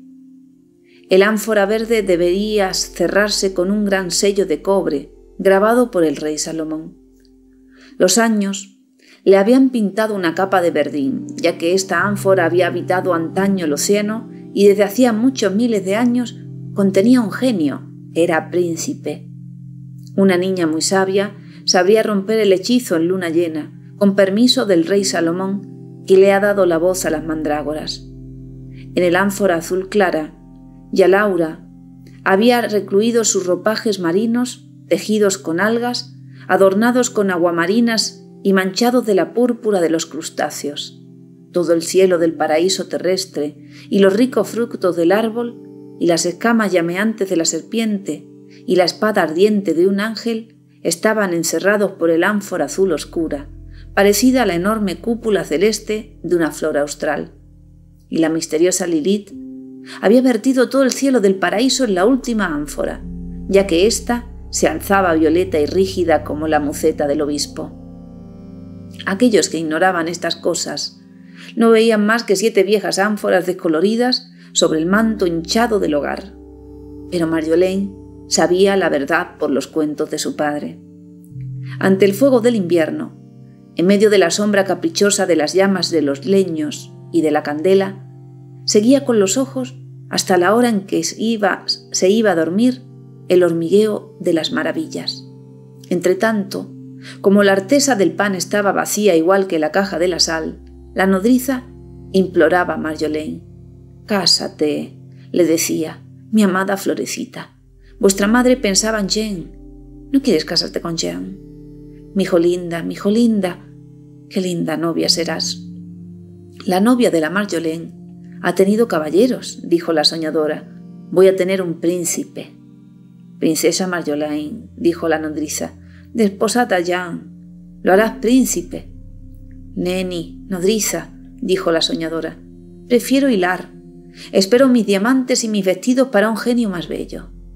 Compra cáñamo y ruecas y un uso pulido. Tendremos nuestro palacio muy pronto. Por el momento está en un desierto negro del África. Un mago vive en él, cubierto de sangre y de venenos. Vierte en el vino de los viajeros un polvo parduzco que los convierte en bestias peludas. El palacio está iluminado con antorchas vivas y los negros que sirven de llantar tienen coronas de oro. Mi príncipe ha de matar al mago y el palacio acudirá a nuestra comarca y tú acunarás a mi niño. Oh, Marjolaine, cásate con Jean, dijo la vieja nodriza. Marjolaine se sentó y se puso a hilar. Pacientemente hizo girar el uso, retoció el cáñamo y lo destorció. Las ruecas se afinaban y se volvían a ensanchar. Jean vino a sentarse junto a ella y la admiró, pero ella no le prestaba el menor interés, porque las siete ánforas de la gran chimenea estaban llenas de sueños. Durante el día le parecía oírlas gemir y cantar. Cuando ella dejaba de hilar, la rueca no se estremecía más por las ánforas y el uso ya no les preocupaba, procuraba sus murmullos. Oh, Marjolaine, cásate con Jean, le decía la vieja nodriza al caer la tarde. Pero en mitad de la noche, la soñadora se levantaba. Como Morgana, arrojaba contra las ánforas granos de arena para despertar los misterios. Y no obstante, el bandolero seguía durmiendo, los frutos preciosos no tintineaban. Ella no oía correr el polvo de oro ni rozarse la tela de los vestidos, y el sello de Salomón pesaba abrumadoramente sobre el príncipe encerrado. Marjolaine arrojaba uno a uno los granos de arena. Siete veces tañeron contra la terracota de las ánforas. Siete veces el silencio volvió a comenzar. Oh, Marjolaine, cásate con Jean, le decía la vieja nodriza todas las mañanas. Entonces, Marjolaine frunció las cejas cuando veía a Jean y John no vino más. Y la vieja nodriza se la encontró muerta, una madrugada, bastante sonriente, y Marjolaine se puso un vestido negro, una cofiostura y continuó hilando. Todas las noches se levantaba, como Morgana, arrojaba contra las ánforas granos de arena para despertar los misterios, y los sueños dormían siempre. Marjolaine se hizo vieja en su paciencia, pero el príncipe aprisionado bajo el sello del rey Salomón era siempre joven, sin duda, habiendo vivido miles de años. Una noche de plenilunio, la soñadora se levantó como una asesina y tomó un martillo. Rompió furiosamente seis ánforas y el sudor de la angustia corría por su frente. Los vasos crujieron y se abrieron. Estaban vacíos. Vaciló ante el ánfora donde Lilith había vertido el paraíso violeta. Después la asesinó como las otras. Entre los restos rodó una rosa de Jericó seca iris. Cuando Marjolaine quiso hacerla florecer, se dispersó en polvo. La complacida. Cice plegó las piernas en su camita y apoyó la oreja contra la pared. La ventana estaba pálida. La pared vibraba y parecía dormir con una respiración sofocada. La enagüita blanca se había hinchado sobre la chilla, de la que colgaban dos medias como unas piernas negras fofas y vacías. Un vestido se dibujaba misteriosamente en la pared como si quisiera trepar hasta el techo. Las tablas del piso rechinaban ligeramente en la noche. La jarra de agua se parecía a un sapo blanco, en cuclillas sobre la jofaima e inhalando sombra. Soy demasiado desdichada, dijo Cice, y se puso a llorar en su sábana. La pared suspiró más fuerte, pero las dos piernas negras continuaron inertes, y el vestido no siguió trepando, y el sapo blanco acuchillado no cerró su boca húmeda. Y Cice dijo, ya que todo el mundo está en mi contra, ya que aquí no quieren más que a mis hermanas, ya que me han mandado acostar durante la cena, me iré. Sí, me iré muy lejos. Soy una cenicienta. Es... eso es lo que soy. Ya lo verán. Voy a tener un príncipe, y ellas no tendrán a nadie, absolutamente a nadie. Y vendré en mi hermoso carruaje con mi príncipe. Eso es lo que haré. Si son buenas, para entonces las perdonaré. Pobre Cenicienta. Ya verán que ella es la mejor que ustedes. Su pequeño corazón se ensanchó otra vez, mientras se ponía las medias y se anudaba la enagua. La silla vacía se quedó en la mitad de la pieza abandonada. Cice descendió suavemente a la cocina y lloró otra vez, arrodillada ante el fogón, con las manos sumergidas en las cenizas. El sonido regular de una rueda la hizo volverse. Un cuerpo tibio y peludo rozó sus piernas. No tengo madrina, dijo Cice, pero tengo mi gato, ¿verdad? Ella estiró sus dedos y él lo lamió lentamente como un pequeño rayador caliente. Ven, dijo Cice. Empujó la puerta del jardín y hubo un gran soplo de frescura. Una mancha sombríamente verdosa indicaba el césped. El gran sicomoro tiritaba, con estrellas que parecían suspendidas entre las ramas. La claridad imperaba en la huerta, más allá de los árboles y los montículos de melones resplandecían. Cice rozó dos manojos de hierbas largas que le hicieron delicadas cosquillas. Corrió entre los montículos, por donde revoloteaban breves resplandores. No tengo madrina. ¿Tú sabes hacer un carruaje, gato? dijo. El animalito bostezó hacia el cielo, por el que escapaban unas nubes grises. Todavía no tengo príncipe, dijo Cice. ¿Cuándo vendrá? Sentada cerca de un gran cardo violáceo, miró el cerco de la huerta. Después se sacó una de las pantuflas y la arrojó con todas sus fuerzas por encima de los groselleros. La pantufla cayó sobre la carretera. Cice acarició al gato y dijo, Escucha, gato, si el príncipe no me trae mi pantufla, te compraré botas y viajaremos para encontrarlo. Es un joven muy apuesto, Está vestido de verde, con diamantes. Me ama mucho, pero no me ha visto nunca. No va a estar celoso. Viviremos juntos los tres. Seré más feliz que Cenicienta, porque he sido más infeliz. Cenicienta iba todas las noches al baile y le daban ricos vestidos. Yo solo te tengo a ti, mi gato querido. Abrazó su hocico de cuero mojado. El gato emitió un delicado maullido y se pasó una pata por la oreja. Luego se lamió y ronroneó. Cise recolectó grosellas verdes. Una para mí, una para mi príncipe, una para ti, una para mi príncipe, una para ti, una para mí, una para ti, una para mí, una para mi príncipe. Así es como viviremos, compartiremos todo entre los otros tres y no tendremos hermanas malas. Las nubes grises se habían amontonado en el cielo. Una franja pálida se elevaba hacia el oriente. Los árboles se sumergían en una penumbra lívida. De repente, una bocanada de viento gélido sacudió la enagua de Cice. Las cosas se estremecieron. El cardo violeta se inclinó dos o tres veces. El gato arqueó el lomo y erizó todos sus pelos. A lo lejos, por el camino, Cice oyó un chirriante sonido de ruedas. Un fuego apagado corrió por las cimas oscilantes de los árboles y a lo largo del techo de la casita. Después, aquel rodar se fue acercando. Hubo relinchos de caballos y un murmullo confuso de voces de hombres. Escucha, gato, dijo Cice, escucha. Un gran carruaje se acerca. Es el carruaje de mi príncipe. Pronto, pronto me llamará. Una pantufla de cuero morada voló por encima de los groselleros y cayó en medio de los montículos. Cice corrió hacia la valla de mimbre y la abrió. Un carruaje largo y oscuro avanzaba pesadamente. El bicornio del cochero iba iluminado por un rayo rojo. Dos hombres oscuros caminaban a cada costado de los caballos. El tren trasero del carruaje era bajo y oblongo como un ataúd. Un olor insípido flotaba en la brisa del alba, pero Cice no comprendió nada de aquello. Ella solo veía una cosa. El carruaje maravilloso estaba allí. El cochero del príncipe estaba tocado de oro. El pesado cofre estaba lleno de joyas de bodas.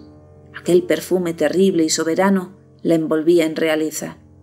Y Cice tendió su brazo gritando, Príncipe, lléveme, lléveme. La princesa Morgana no quería a nadie. Tenía un candor frío y vivía en medio de las flores y de los espejos. Pinchaba rosas rojas en sus cabellos y se miraba. No veía ninguna joven ni a ningún muchacho porque se miraba en sus miradas. Y la crueldad o la voluptuosidad le eran desconocidas. Sus cabellos negros descendían alrededor de su rostro como olas despaciosas. Deseaba amarse a sí misma, pero la imagen de los espejos tenía una frigidez apacible y lejana, y la imagen de los estanques era pálida y taciturna, y la imagen de los ríos huía temblando. La princesa Morgana había leído en los libros de historia acerca del espejo de Blancanieves, que sabía hablar, y le anunció su degüello, y el cuento del espejo de, de Ilse, del que salió otra Ilse que mató a Ilse, y la aventura del espejo nocturno del pueblo de Mileto, que hacía que las milesias se estrangularan al alzarse la noche.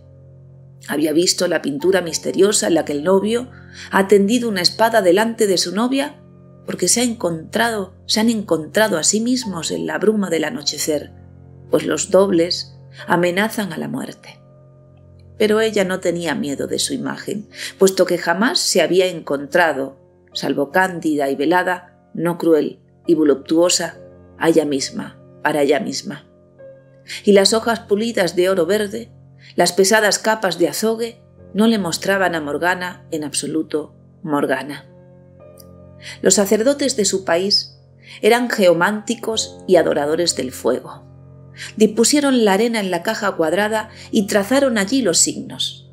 Calcularon por medio de sus talismanes de pergamino, hicieron el espejo negro con el agua mezclada con humo, y por la noche Morgana se presentó ante ellos arrojó en el fuego tres pasteles de ofrenda. Aquí, dijo el geomántico, mostró el espejo negro. Morgana miró. Primero un vapor claro se arrastró por la superficie. Después borbotó un círculo coloreado y luego una imagen se alzó y se desplazó ligeramente. Era una casa blanca, cúbica, con largas ventanas, y bajo la tercera ventana colgaba un gran anillo de bronce. Todo alrededor de la casa reinaba la arena gris. Este es el lugar, dijo el geomántico, donde se encuentra el verdadero espejo, pero nuestra ciencia no puede localizarlo ni explicarlo. Morgana se inclinó y arrojó en el fuego otros tres pasteles de ofrenda, pero la imagen vaciló y se tornó oscura, la Casa Blanca se sumergió y Morgana miró vanamente el espejo negro. Al día siguiente, Morgana quiso hacer un viaje, le parecía haber reconocido el sombrío color de la arena y se dirigió hacia Occidente. Su padre le otorgó una selecta caravana con mulas de cencerros de plata y fue llevada en una litera cuyos tabiques eran preciosos espejos. Atravesó Persia de ese modo, examinaba los hospedajes aislados, tanto aquellos que están construidos cerca de los pozos y por donde pasan las partidas de viajeros, como las casas prohibidas donde las mujeres cantan en las noches y acuñan monedas de metal. Cerca de los confines del reino de Persia, vio muchas casas blancas, cúbicas, de largas ventanas, pero el anillo de bronce no estaba colgado allí. Le dijeron que el anillo debía encontrarse en el cristiano país de Siria, por occidente. Morgana atravesó las llanas orillas del río que rodea la comarca de las planicies húmedas, donde crecen bosques de regaliz. Había castillos excavados en una sola piedra, angosta, que estaba apoyada en la punta, y las mujeres, sentadas al sol, al paso de la caravana, tenían cordones de crin rojiza alrededor de la frente. Allí viven los que trasladan tropillas de caballos y llevan lanzas con punta de plata. Más lejos está una montaña salvaje habitada por bandidos que beben aguardiente de trigo en honor de sus divinidades. Adoran unas piedras verdes de forma extraña y se prostituyen los unos a los otros en medio de círculos de zarzas en llamas. Morgana tuvo horror de ellos. Más lejos está una ciudad subterránea de hombres negros que no son visitados por sus dioses, sino durante el sueño. Comen las fibras del cáñamo y se cubren el rostro con polvo de tiza. Los que se emborrachan con el cáñamo durante la noche cortan el cuello de los que duermen para enviarlos con las divinidades nocturnas. Morgana tuvo horror de ellos. Más lejos se extiende el desierto de arena gris, donde las plantas y las piedras son semejantes a la arena. A la entrada de este desierto, Morgana encontró el hospedaje del anillo. Hizo detener su litera y los muleros descargaron las mulas. Era una casa antigua, construida sin la ayuda del cemento. Los bloques de piedra estaban blanqueados por el sol, pero el patrón del hospedaje no pudo hablarle del espejo, pues no lo conocía en absoluto. Al anochecer, después de comer las galletas delgadas, el patrón dijo a Morgana que aquella casa del anillo había sido en tiempos antiguos la morada de una reina cruel fue castigada por su crueldad, pues había ordenado cortar la cabeza a un hombre religioso que vivía solitario en medio de la extensión de arena y con buenas palabras hacía bañarse a los viajeros en el agua del río. Inmediatamente después, aquella reina pereció con toda su raza. La habitación de la reina fue tapiada en su casa. El patrón del hospedaje mostró a Morgana la puerta tapada por piedras. Después, los viajeros del hospedaje se acostaron en las salas cuadradas y debajo del saledizo. Pero hacia mitad de la noche, Morgana despertó a sus muleros e hizo derribar la puerta tapiada. Entró por la brecha polvorosa con una antorcha de hierro. La gente de Morgana oyó un grito y siguió a la princesa. Estaba arrodillada en mitad de la habitación tapiada, delante de una fuente de cobre repujado repleta de sangre, y la observaba ardientemente. El patrón del hospedaje levantó los brazos, pues la sangre de la pila no se había secado en la habitación clausurada desde la que la reina cruel había hecho colocar en ella una cabeza cortada. Nadie sabe lo que la princesa Morgana vio en el espejo de sangre, pero en la ruta de regreso sus muleros fueron descubiertos asesinados, uno tras otro, cada noche, con las caras grises vueltas hacia el cielo, después de haberse introducido en su litera. Se dio a esta princesa el nombre de Morgana la Roja, y fue una famosa prostituta y una terrible degolladora de hombres. La sacrificada. Lily y Nan eran doncellas de granja. Llevaban agua del pozo, en verano, por el sendero, apenas abierto en los trigos maduros, y en el invierno, cuando hace frío, y cuando los carámbanos se balancean en las ventanas, Lily venía a acostarse con Nan. Ovilladas bajo los cobertores, escuchaban al viento silbar. Tenían siempre monedas blancas en sus bolsillos y camisolines finos con cintas de color cereza, parejamente rubias y risueñas.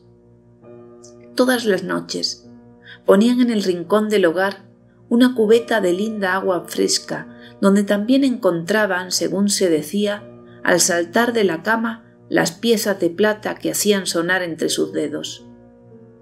Los pixies las arrojaban a la cubeta después de haberse bañado en ella. Pero ni Nan, ni Lily, ni nadie había visto pixies, sino que los cuentos y baladas son unas cositas negras y malignas con cola de torbellino. Una noche, Nan olvidó sacar agua, tanto más porque era diciembre y la cadena herrumbrada del pozo estaba revestida de hielo. Mientras dormía, con las manos sobre los hombros de Lili, de pronto la pellizcaron en los brazos y en las pantorrillas y le tiraron cruelmente de los cabellos de su nuca. Se despertó llorando. Mañana estaré negra y azul. Y dijo a Lili, apriétame, apriétame. No puse la cubeta de linda agua fresca, pero no saldré de mi cama aunque me lo exijan todos los pixies de Devonshire. Entonces la buena de Lili la abrazó, se levantó y sacó agua y puso la cubeta en el rincón del fogón. Cuando volvió a acostarse, Nan se había dormido. Mientras dormía, la pequeña Lili tuvo un sueño. Le parecía que una reina vestida con hojas verdes, con una corona de oro sobre la frente, se aproximaba a su cama, le tocaba y le hablaba. Decía, soy la reina mandosiana. Lili, ve a buscarme. Después decía, estoy sentada en una pradera de esmeraldas, y el camino que conduce hasta mí es de tres colores, amarillo, azul y verde. Soy la reina mandosiana Lili, ven a buscarme. Lili hundió la cabeza en la almohada negra de la noche y ya no vio nada más. Por la mañana, al cantar el gallo, a le fue imposible levantarse, emitía unas quejas agudas, pues sus dos piernas estaban insensibles y no eran capaces de moverlas. En el correr del día, los médicos la vieron y tras una larga deliberación decidieron que permaneciera así tendida sin volver a caminar jamás. La pobre Nan sollozaba, nunca encontraría marido.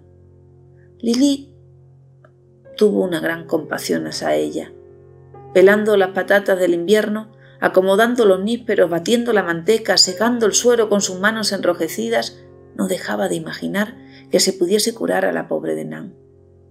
Había olvidado su sueño, cuando una noche, en que caía una copiosa nevada y en que se bebía cerveza caliente con tostadas, un viejo vendedor de baladas golpeó la puerta. Todas las doncellas de la granja saltaron a su alrededor, Llevaba guantes, canciones de amor, cintas de tela de Holanda, ligas, alfileres y cofias de oro. Vean la triste historia, dijo, de la mujer del usurero, durante doce meses preñada de veinte sacos de escudos y presa del deseo muy singular de comer cabezas de víbora revueltas y sapos en carbonada. Vean la balada del gran pez que alcanzó la costa el, decimocuarto día de abril y salió más de cuarenta brazas fuera de agua y vomitó cinco celemines de anillos de casada enmohecidos por el mar. Vean la canción de las tres hijas malas del rey y de aquella que volcó un vaso de sangre sobre la barba de su padre. Tenía también las aventuras de la reina mandosiana, pero una borrasca traviesa me arrancó la última hoja de las manos en el rencodo del camino. Lili Reconoció enseguida su sueño y supo que la reina mandosiana le ordenaba que acudiese. La misma noche, Lili abrazó dulcemente a Nam, se puso sus zapatos nuevos y se fue sola por la carretera. El viejo vendedor de baladas había desaparecido y su hoja se había volado tan lejos que Lili no la pudo encontrar. No sabía ni quién era la reina mandosiana ni dónde debía buscar. Nadie le pudo responder, aun cuando les preguntó por el camino a los viejos labradores que la miraban todavía a lo lejos, cubriéndose los ojos con la mano, y tampoco las jóvenes encintas que conversaban indolentemente ante sus puertas, ni los niños que justamente acababan de hablar, para los cuales bajaba las ramas de las moreras por entre los cercos. Unos decían, ya no hay reinas. Otros, no tenemos de eso por aquí, eso fue en los viejos tiempos. Otros, ¿Ese es el nombre de un lindo muchachito? Y otros malvados condujeron a Lili ante una de esas casas de los pueblos que están cerradas durante el día y que por la noche se abren y se iluminan diciendo y asegurando que la reina mandosiana residía allí, que vestía un camisón rojo y era servida por mujeres desnudas.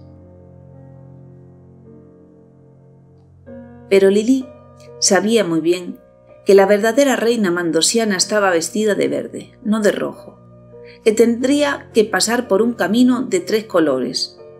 Así reconoció la mentira de los malvados. Caminó mucho tiempo, no obstante. Pasó el verano de su vida trotando por el polvo blanco, chapoteando en el espeso barro de las zanjas, acompañada por las carretillas de los carreteros y a veces, al caer la noche, cuando el cielo tenía un espléndido matiz rojo, seguida por los grandes carros en los que se amontonaban gavillas y en los que se balanceaban algunas falsas luciérnagas, pero nadie supo hablarle de la reina mandosiana. Para no olvidar ese nombre tan difícil, había hecho tres nudos a su liga. Cierto mediodía, habiendo marchado muy lejos hacia el sol que se alza, entró en un camino amarillo y sinuoso que bordeaba un canal azul. En el canal doblaba por el camino y entre las dos un talud verde que seguía sus contornos. Matorrales de arbustos cruzaban de un lado a otro. Tan lejos como el ojo podía alcanzar, no se veían más que ciénagas y la sombra verdosa. En medio de las manchas de las marismas se alzaban pequeñas chozas cónicas y una larga carretera se hundía directamente en las nubes sangrantes del cielo. Allí encontró un niño cuyos ojos estaban extrañamente rasgados, que jalaba a lo largo del canal una pesada barca. Quiso preguntarle si había visto a la reina, pero descubrió con horror que había olvidado el nombre. Entonces clamó y lloró y palpó su liga en vano. Clamó más fuerte, y viendo que caminaba por el camino de tres colores, hecho de polvo amarillo, de un canal azul y de un talud verde. Una vez más tocó los tres lazos que había anudado y sollozó. El niño, pensando que ella sufría y sin comprender en absoluto su dolor, recogió en el borde del camino amarillo una pobre hierba que puso en su mano. La mandosiana cura, dijo. Así es como Lili encontró a su reina vestida de hojas verdes. La cerró primorosamente y volvió de inmediato por el largo camino. El viaje de regreso fue más lento que el otro. Lili estaba cansada. Le pareció que caminaba desde hacía años. Estaba alegre, sabiendo que curaría a la pobre Nan. Atravesó el mar, cuyas olas eran monstruosas, y por fin arribó a Devon, guardando la hierba entre su saya y su camisa. Al principio no reconoció los árboles, le pareció que todas las reses habían cambiado. El gran salón de la granja, allí vio a una mujer vieja rodeada de niños. Corriendo preguntó por Nan, y la vieja, sorprendida, observó a Lili y dijo pero Nan se ha ido hace mucho tiempo, se ha casado. ¿Curada? preguntó Lili feliz. ¿Curada? Sí, dijo la vieja. ¿Y tú? ¿No eres Lili? Sí, dijo Lili. Pero entonces, ¿qué edad puedo tener? Cincuenta años, ¿verdad, abuela? gritaron los niños. No es tan vieja como tú. Mientras Lili, cansada, sonreía, el fuerte perfume de la mandosiana la hizo languidecer. Murió bajo el sol. Así Lili se fue a buscar a la reina mandosiana y ésta se la llevó. Monel, de su aparición. No sé cómo llegué a través de una lluvia oscura hasta el extraño puesto de mercado que se me apareció en la noche. Ignoro la ciudad e ignoro el año. Recuerdo que la estación era lluviosa, muy lluviosa, es cierto que en esa misma época los hombres encontraron por las calles a niñitos vagabundos que se negaban a crecer. Niñitas de siete años imploraron de rodillas para que su edad permaneciera inmóvil y la pubertad parecía mortal. Hubo procesiones blanquecinas bajo el lívido cielo y leyes sombras apenas parlantes y leves sombras apenas parlantes exhortaron al pueblo pueril. Nada era más deseado por ellas que una ignorancia perpetua. Deseaban consagrarse a juegos externos, despertaban del trabajo de la vida. Para ellas todo era otra cosa que pasado. En aquellos oscuros días, bajo aquella estación lluviosa, muy lluviosa, distinguí las débiles luces fugaces de la pequeña vendedora de lámparas. Me acerqué bajo el sobradillo y la lluvia corrió por mi nuca mientras inclinaba la cabeza. Le dije, ¿qué vendes? pequeña vendedora, en esta triste estación de lluvia? Lámparas, me respondió. Solo lámparas encendidas. ¿Pero de verdad? Le dije, que son esas lámparas encendidas del tamaño del meñique que arden con una luz delgada como una cabeza de alfiler. Son las lámparas de esta estación tenebrosa, me dijo. Antes fueron lámparas de muñeca, pero los niños ya no quieren crecer. Por eso vendo estas lamparitas que apenas iluminan la lluvia oscura. ¿Y vives de eso, pequeña vendedora vestida de negro? ¿Y comes del dinero de los que los niños te pagan por sus lámparas? Sí, dijo ella simplemente. Gano muy poco. La siniestra lluvia apaga a menudo mis pequeñas lámparas en el momento en que las tiendo para darlas, y cuando están apagadas los niños ya no la quieren. Nadie puede volver a encenderlas. Solo me queda esta. Sé que no podré encontrar otras, y cuando se vendan viviremos en la oscuridad de la lluvia. Entonces, continué, ¿es la única luz de esta triste estación? y como alumbrar con una lámpara tan pequeña las tinieblas mojadas. La lluvia las apaga a menudo, dijo ella, y en el campo, por las calles, ya no pueden servir. Hay que encerrarse. Los niños reguardan mi pequeña lámpara con sus manos y se encierran. Se encierran, cada uno con su lámpara y un espejo. Y ella basta para mostrarle su imagen en el espejo. Miré durante unos instantes las pobres llamas vacilantes. ¡Ay! dije, pequeña vendedora. ¡Qué luz más triste! Y las imágenes de los espejos deben ser tristes imágenes. No son tan tristes, dijo la niña vestida de negro, sacudiendo la cabeza. Mientras no crezcan. Pero las pequeñas lámparas que vendo no son eternas. Su llama mengua como si se afligieran por la lluvia oscura. Y cuando mis lamparitas se apagan, los niños ya no ven el esplendor del espejo y se desesperan temen no saber el instante en el que van a crecer. Por eso escapan, gimiendo la noche. Pero no me está permitido vender a cada niño más que una sola lámpara. Si tratasen de comprar una segunda se apagaría en sus manos. Me incliné un poco más hacia la pequeña vendedora y quise coger una de sus lámparas. ¡Oh! No hay que tocarlas, me dijo. Usted ha superado la edad en que mis lámparas arden. Solo están hechas para las muñecas o los niños. ¿No tiene en su casa una lámpara de persona mayor? Ay, dije, en esta estación lluviosa de lluvia oscura, en este triste tiempo ignorado, solo tus lámparas de niños arden. Y también a mí me gustaría mirar una vez más el resplandor del espejo. Venga, me dijo, nos miraremos juntos. Por una vieja escalera carcomida me llevó a una habitación de madera sencilla donde había un trozo de espejo en la pared. Shh, le enseñaré propia lámpara es más clara y más potente que las otras, y entre estas lluviosas tinieblas no soy demasiado pobre. Levantó su pequeña lámpara hacia el espejo. Hubo un pálido reflejo en el que vi circular historias conocidas. Pequeña lámpara mentía, mentía, mentía. Vi alzarse la pluma sobre los labios de Cordelia y sonreía, y curaba, y con su anciano padre Vivía en una gran jaula con un gran pájaro y besaba su barba blanca. Vi a Ofelia jugar en el agua vidriosa del estanque y rodear el cuello de Hamlet con sus húmedos brazos cubiertos con guirnaldas de violetas. Vi a Desdébona despierta vagar bajo los sauces. Vi a la princesa Malena apartar sus dos manos de los ojos del viejo rey y reír y bailar. Vi a Melisenda liberada contemplarse en la fuente. Exclamé, pequeña lámpara mentirosa. Shh, dijo la pequeña vendedora de lámparas, y me puso la mano sobre los labios. No hay que decir nada. No es bastante oscura la lluvia. Entonces bajé la cabeza y me fui hacia la noche lluviosa en la ciudad desconocida.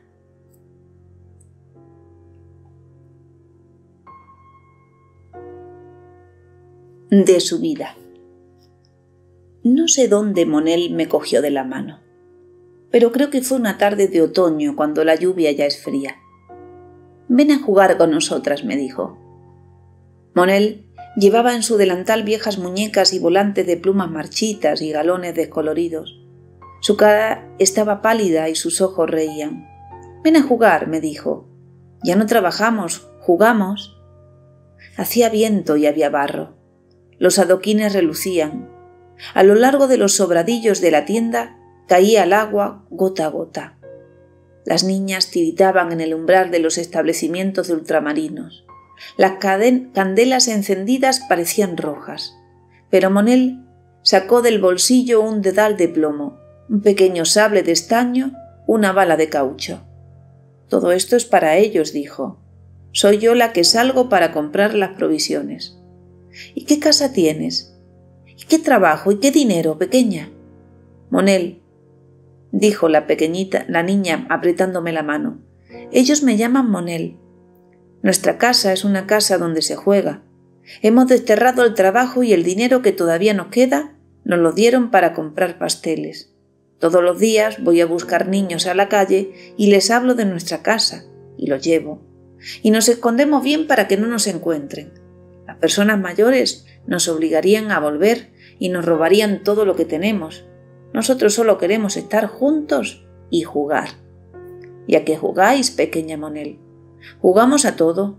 Los que son mayores se hacen fusiles y pistolas, y los otros juegan con raquetas, saltan a la cuerda, se tiran a la pelota. Otros bailan rondas y se cogen de las manos. Otros dibujan en los cristales bellas imágenes que nunca se ven y hacen pompas de jabón.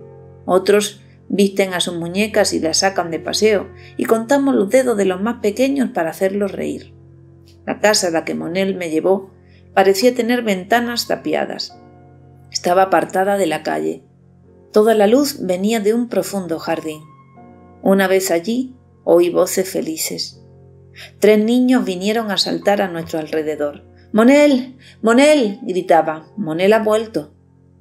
Me miraron y murmuraron. ¡Qué grande es! ¿También viene a jugar, Monel? Y la niñita les dijo Pronto las personas mayores vendrán con nosotros. Vendrán hacia los niños pequeños, aprenderán a jugar. Nosotros les daremos clases y en nuestra clase no se trabajará nunca. ¿Tenéis hambre? Una voz se gritaron Sí, sí, hay que hacer la comidita.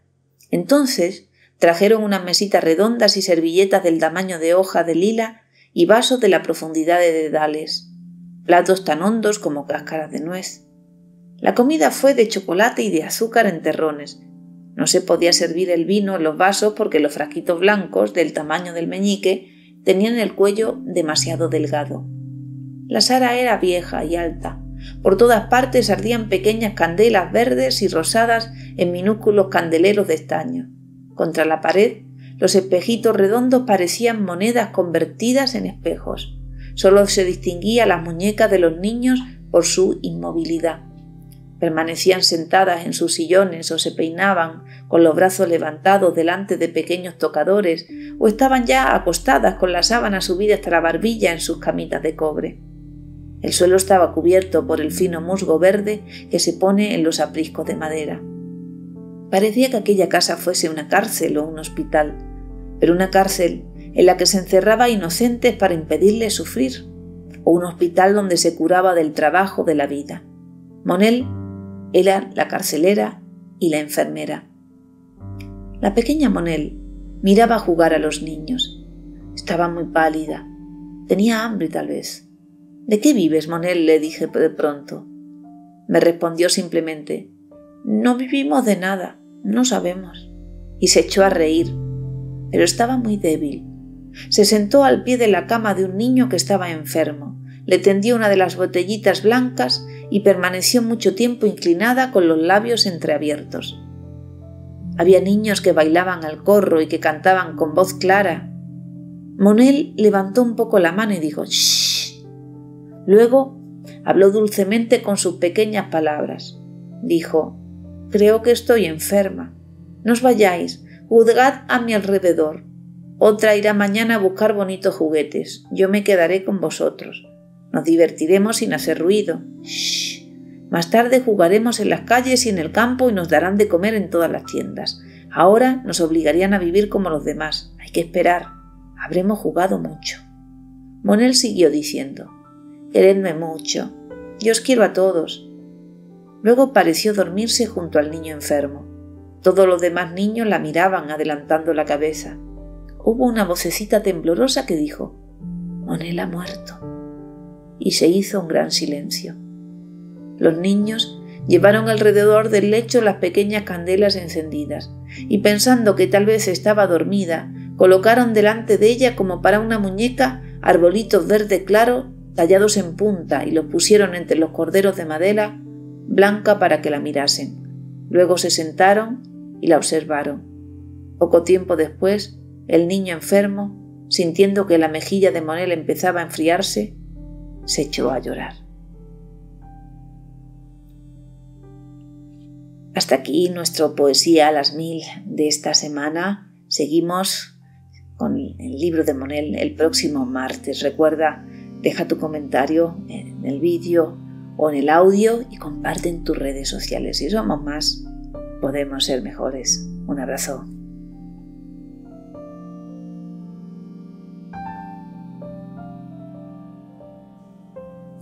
De su huida.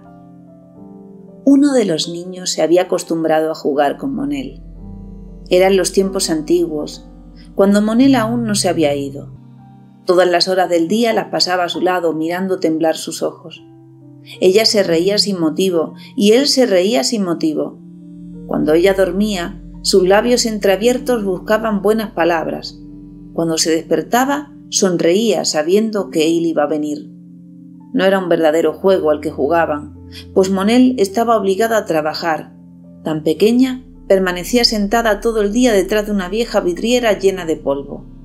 El muro de enfrente estaba cegado de cemento, bajo la triste luz del norte pero los deditos de Monel corrían por el lienzo como si trotasen por un camino de tela blanca, y los alfileres pinchados en sus rodillas marcaban las paradas. La mano derecha estaba encogida como un carrito de carne y avanzaba dejando detrás de sí un dobladillo. Rechinando, rechinando, la aguja clavaba su lengua de acero y se hundía y emergía, sacando el largo hilo por su ojo de oro. Era bonita la mano izquierda, porque acariciaba suavemente la tela nueva. Alisaba todos sus pliegues, como si hubiera bordado en silencio las sábanas frescas de un enfermo. Así, miraba el niño a Monel y se alegraba sin hablar, pues su trabajo parecía un juego, y ella le decía cosas sencillas que no tenían mucho sentido. Ella reía con sol, reía con lluvia, reía con nieve, le gustaba tener calor, estar mojada, helada, si tenía dinero se reía, pensando que iría a bailar con un vestido nuevo. Si no tenía nada, se reía, pensando que comería judías, una gran provisión para una semana. Cuando tenía dinero, pensaba en otros niños, a los que haría reír, y esperaba cuando su manita estaba vacía que podría acurrucarse y anidar en su hambre y su pobreza. Siempre estaba rodeada de niños que la miraban con los ojos muy abiertos, pero tal vez Prefería al niño que iba a pasar a su lado las horas del día. Sin embargo, se marchó y lo dejó solo. Nunca le habló de su marcha, pero se volvió más seria y lo miró más tiempo. Él también se acordó de que ella dejó de amar todo lo que la rodeaba, su silloncito, los animales pintados que le regalaban, y todos sus juguetes y todos sus trapos, y con el dedo en la boca pensaba en otras cosas. Se fue una tarde de diciembre, cuando el niño no estaba allí, llevando en la mano su lamparita jadeante. Entró sin volverse en las tinieblas. Cuando llegaba, el niño todavía alcanzó a ver el extremo negro de la estrecha calle, una breve llama que suspiraba. Eso fue todo. Nunca más volvió a ver a Monel. Durante mucho tiempo se preguntó por qué se había ido ella sin decir nada. Pensó que no había querido entristecerse con su tristeza, se convenció de que se había ido hacia otros niños que la necesitaban. Con su pequeña lámpara agonizante había ido a llevarles ayuda, la ayuda de una sonriente pavesa en la noche. Quizá había pensado que no tenía que quererle demasiado, solo a él, a fin de poder querer también a otros pequeños desconocidos.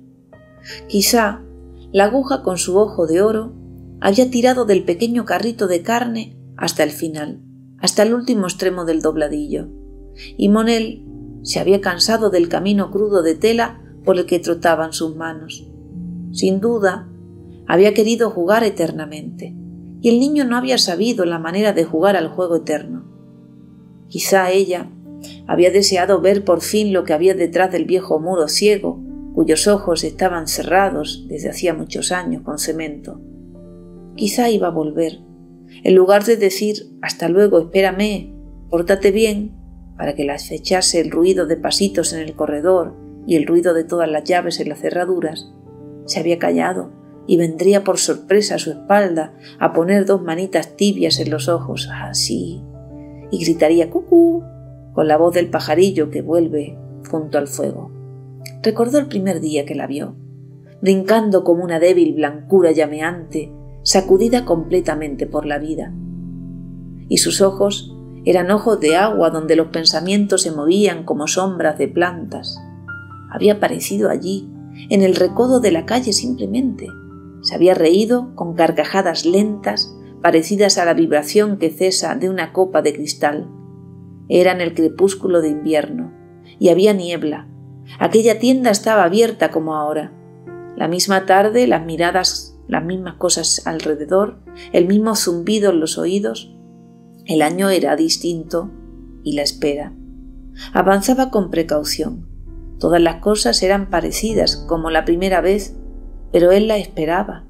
No era una razón para que ella viniese y tendía su pobre mano abierta hacia la niebla. Esta vez Monel no salió a lo desconocido. Ninguna risita agitó la niebla. Monel estaba lejos y ya no se acordaba ni de la tarde ni del año. ¿Quién sabe? Tal vez había deslizado el de noche en el cuartito deshabitado y lo observaba detrás de la puerta con un suave estremecimiento. El niño caminó sin ruido para sorprenderla, pero ella no estaba allí. Iba a volver, oh sí, iba a volver. Los otros niños ya habían sido bastante felices con ella. Ahora le tocaba a él. El niño oyó su voz maliciosa murmurando Ahora me porto bien pequeña frase desaparecida, lejana, borrada como un tinte viejo, gastada ya por lo seco del recuerdo. El niño se sentó pacientemente. Allí estaban el silloncito de mimbre, con la marca de su cuerpecito, y el taburete que le gustaba y el espejito, más querido porque estaba roto, y la última camiseta que había cosido, la camiseta que se llamaba Monel, preparada, algo hueca, esperando a su ama. Todos los pequeños objetos de la habitación la esperaban. La mesa de costura había quedado abierta. El pequeño metro de en su caja redonda alargada por su lengua verde, perforada por una anilla. La tela desplegada de los pañuelos se levantaba en pequeñas colinas blancas. Las puntas de las agujas se alzaban detrás, semejantes a lanzas emboscadas. El pequeño dedal de hierro labrado era un yelmo abandonado. Las tijeras abrían con indolencia su boca como un dragón de acero. Todo dormía esperando. El carrito de carne, flexible y ágil, ya no circulaba, derramando sobre aquel mundo encantado su calor tibio. Todo el extraño castillito de labor dormitaba. El niño esperaba. La puerta iba a abrirse muy despacio. La risueña pavesa revolotearía, las colinas blancas se desplegarían, las delgadas lanzas chocarían entre sí, el yermo recuperaría su cabeza rosada, el dragón de acero haría crujir rápidamente sus fauces y el carrito de carne trotaría por todas partes y la voz borrada seguiría diciendo Hoy me he portado bien. ¿No ocurren acaso dos veces los milagros?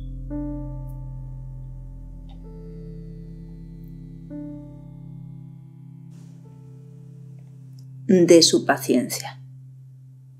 Llegué a un lugar muy estrecho y oscuro, pero perfumado, con un olor triste a violetas sofocadas, y no había medio alguno de evitar ese lugar, que es como un largo pasadizo.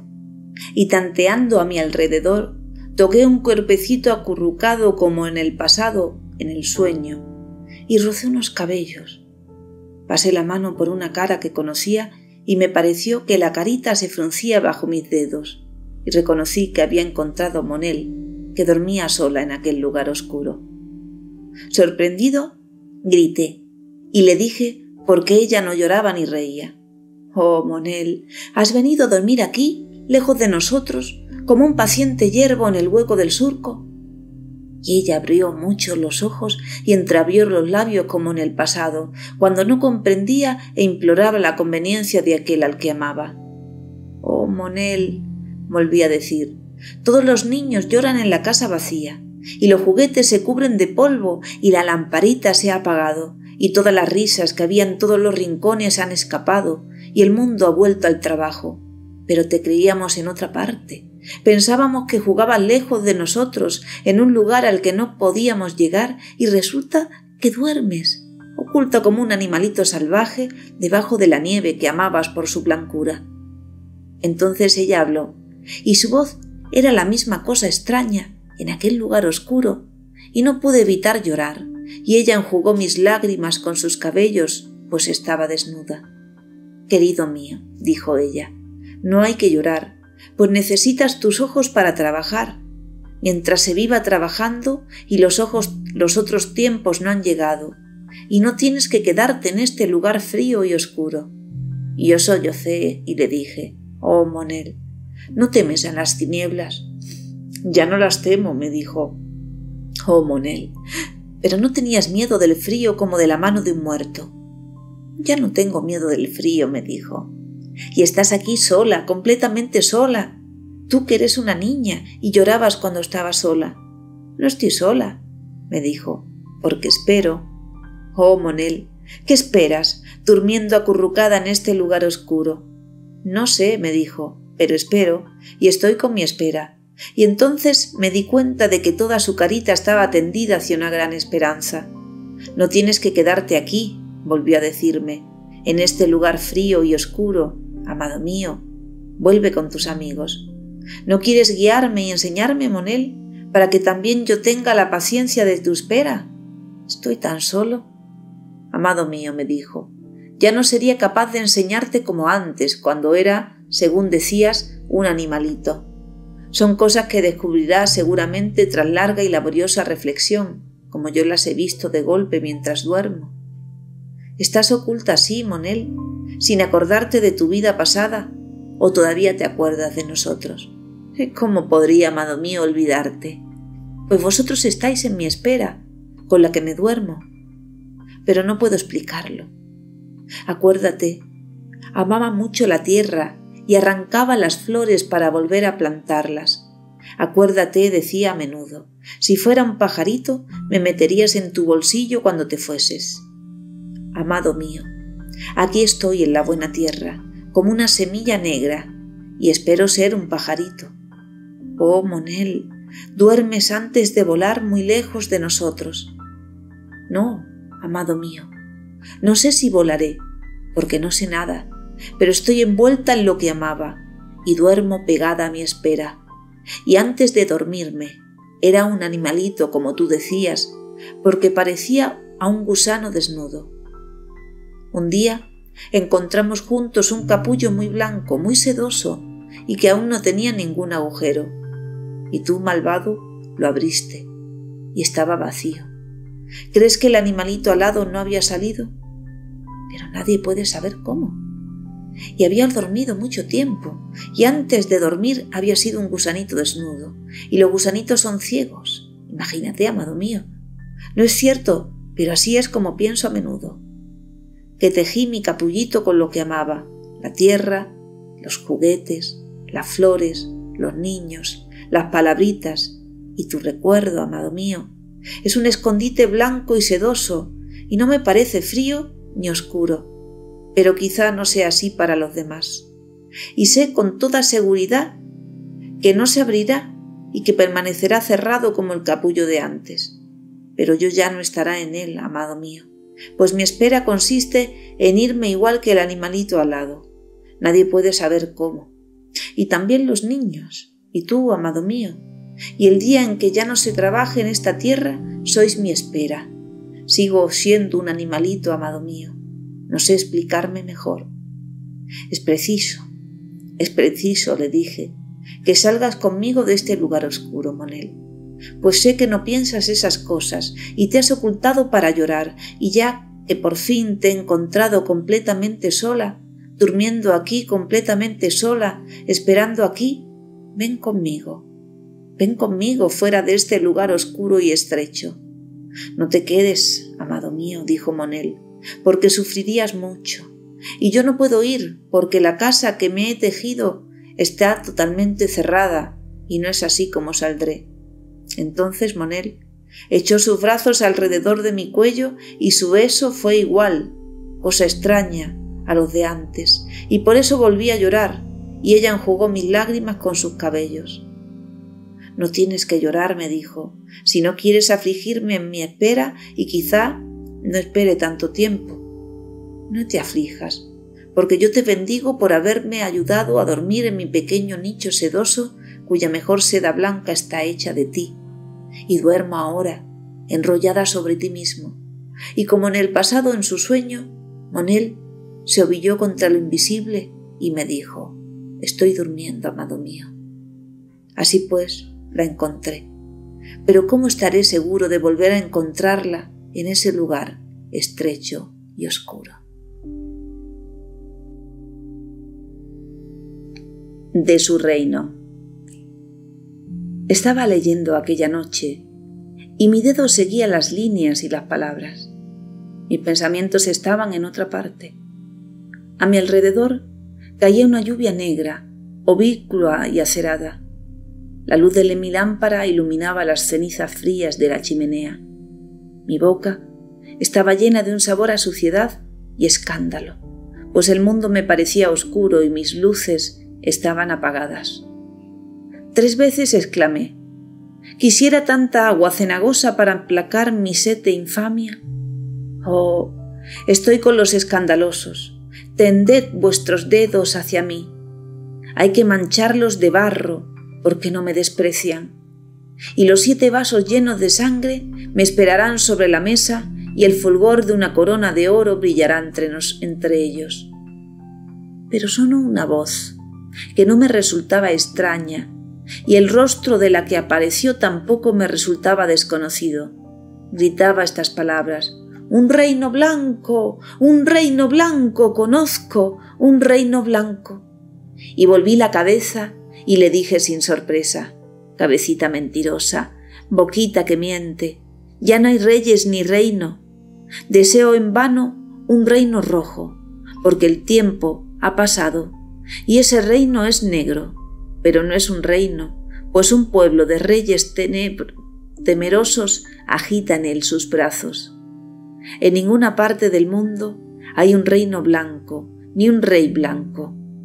Ella gritó de nuevo estas palabras. Un reino blanco, un reino blanco, conozco un reino blanco. Yo quise cogerle la mano, pero me esquivó. Ni por la tristeza, me dijo, ni por la violencia. Sin embargo, hay un reino blanco. Ven con mis palabras, escucha. Se quedó callada. Yo recordé. Ni por el recuerdo me dijo, ven con mis palabras, escucha. Se quedó en silencio y yo me oí pensar. Ni por el pensamiento me dijo, ven con mis palabras, escucha. Y se quedó callada. Entonces destruí en mí la tristeza de mi recuerdo y el deseo de mi violencia, y toda mi inteligencia desapareció. Me quedé a la espera. Eso es, me dijo, y verás el reino, pero no sé si entrarás en él pues soy difícil de comprender, salvo para los que no comprenden. Y soy difícil de alcanzar, salvo para los que ya no alcanzan. Y soy difícil de reconocer, salvo para los que no tienen recuerdo. En verdad, he aquí que me tienes, y ya no me tienes. Escucha. Entonces escuché mi espera, pero no oí nada. Ella sacudió la cabeza y me dijo, añoras tu violencia y tu recuerdo, y la destrucción aún no ha terminado. Hay que destruir para alcanzar el reino blanco. Confiésate y serás liberado. Pon entre mis manos tu violencia y tu recuerdo, y yo los destruiré, pues toda confesión es una destrucción. Yo exclamé, Te daré todo, sí, te daré todo, y tú lo llevarás y lo aniquilarás porque ya no soy bastante fuerte. Deseé un reino rojo. Había reyes sangrientos que afilaban sus espadas. Mujeres de ojos ennegrecidos lloraban sobre juncos cargados de opio. Varios piratas enterraban en la arena de las islas cofres cargados de lingotes. Todas las prostitutas eran libres. Los ladrones cruzaban los caminos bajo la palidez del alba. Muchas jovencitas se atiborraban de golosinas y de lujuria. Un tropel de embalsamadoras doraba cadáveres en la noche azul. Los niños deseaban amores lejanos y crímenes ignorados. Cuerpos desnudos alfombraban las baldosas de cálidos baños. Todas las cosas estaban impregnadas de especies ardientes y alumbradas por cirios rojos. Pero ese reino se hundió bajo tierra y yo me desperté en medio de las tinieblas. Entonces tuve un reino negro que no es un reino, pues está lleno de reyes que se creen reyes y que lo oscurecen con sus obras y sus órdenes, y una oscura lluvia lo empapa noche y día. Y vagué mucho tiempo por los caminos, hasta el pequeño fulgor de una lámpara tenebrosa que apareció ante mí en el centro de la noche. La lluvia mojaba mi cabeza, pero viví bajo la lamparita, la que la sostenía se llamaba Monel, y los dos jugamos en ese reino negro. Una noche la lamparita se apagó y Monel se fue. La he buscado mucho tiempo entre esas tinieblas, pero no he podido volver a encontrarla. Esta noche la buscaba en los libros, pero la busco en vano. Estoy perdido en el reino negro y no puedo olvidar el pequeño fulgor de Monel. Tengo en la boca un sabor infamia. Tan pronto como terminé de hablar, sentí que en mí se había hecho la destrucción y mi espera se iluminó con un temblor y oí las tinieblas y su voz decía, Olvida todas las cosas y todas las cosas te serán devueltas. Olvida a Monel y te será devuelta. Tal es la palabra nueva Imita al perrito cuyos ojos aún no se han abierto y buja a tientas un nido para su hocico frío. La que me hablaba gritó Un reino blanco. un reino blanco. conozco un reino blanco. Fui abrumado por el olvido, y mis ojos irradiaron candor. La que me hablaba gritó Un reino blanco. conozco un reino blanco. Y el olvido penetró en mí y el lugar de mi inteligencia se volvió profundamente cándido. La que me hablaba gritó, Un reino blanco, un reino blanco, conozco un reino blanco. Esta es la llave del reino. En el reino rojo hay un reino negro. En el reino negro hay un reino blanco. En el reino blanco. Monel, grité, Monel, en el reino blanco está Monel. Y apareció el reino pero estaba tapiado de blancura. Entonces pregunté, ¿Y dónde está la llave del reino? Pero la que me hablaba se quedó taciturna. De su resurrección. Lubet me condujo por un surco verde hasta la linde del campo. La tierra se elevaba más lejos y en el horizonte una línea oscura cortaba el cielo. Las nubes en llamas ya se inclinaban hacia el poniente. Al incierto resplandor del anochecer distinguí pequeñas sombras errantes. Enseguida me dijo, veremos encenderse el fuego, y mañana estará más lejos, pues no se quedan en ninguna parte, solo encienden un fuego en cada lugar. ¿Quiénes son? pregunté a Lubet. No se sabe, son niños vestidos de blanco. Algunos han venido de nuestras aldeas y otros caminan desde hace mucho. Vimos brillar una llamita que danzaba en la altura. Ese es su fuego, dijo Lubet. Ahora podremos encontrarlos, pues pasan la noche donde hacen su hoguera y al día siguiente dejan la comarca. Cuando llegamos a la cresta donde ardía la llama, vimos muchos niños blancos alrededor del fuego. Entre ellos Pareciendo hablarles y guiarlos, reconocí a la pequeña vendedora de lámparas a la que había encontrado en otro tiempo en la ciudad negra y lluviosa. Se levantó de entre los niños y me dijo Ya no vendo lamparitas mentirosas que se apagaban bajo la triste lluvia. Ha llegado los tiempos en que la mentira ha ocupado el lugar de la verdad, en que el trabajo miserable ha perecido. Hemos jugado en la casa de Monel, pero las lámparas eran juguetes y la casa un asilo. Monel ha muerto. Yo soy la misma Monel, y me levanté en la noche, y los pequeños vinieron conmigo e iremos a través del mundo. Se volvió a Louvet. Ven con nosotros, dijo, y sé feliz en la mentira. Lubet corrió entre los niños y se vistió de blanco como ellos. Nosotros caminamos, continuó la que nos guiaba, y mentimos a todo lo que encontramos a fin de darles alegría. Nuestros juguetes eran mentira y ahora las cosas son nuestros juguetes. Entre nosotros nadie sufre y nadie muere. Decimos que estos se esfuerzan por conocer la triste verdad, que no existe en absoluto. Los que quieren conocer la verdad se apartan de nosotros y nos abandonan. En cambio, no tenemos ninguna fe en las verdades del mundo, pues llevan a la tristeza. Queremos llevar a nuestros niños hacia la alegría. Ahora, las personas mayores podrán venir hacia nosotros y nosotros les enseñaremos la ignorancia y la ilusión. Les mostraremos las florecillas del campo, tal como no las han visto, pues cada una es nueva. Y nos sorprenderemos con cada país que veamos, pues todo país es nuevo. No hay semejanzas en este mundo y no hay recuerdos para nosotros. Todo cambia sin cesar y nos hemos acostumbrado al cambio. Por eso, encendemos un fuego cada noche en un lugar distinto y alrededor del fuego inventamos, por el placer del instante, historias de pigmeos y de muñecas vivientes. Cuando la llama se apaga, otra mentira se apodera de nosotros y nos hace felices asombrarnos con ella. Por la mañana ya no conocemos nuestras caras, pues quizá unos han deseado aprender la verdad y los otros solo se acuerdan ya de la mentira de la víspera. Así pasamos por las comarcas y vienen hacia nosotros en tropel y los que nos siguen se vuelven felices. Mientras vivíamos en la ciudad, se nos obligaba al mismo trabajo y amábamos a las mismas personas y el mismo trabajo nos cansaba y nos afligíamos viendo a las personas que amábamos sufrir y morir.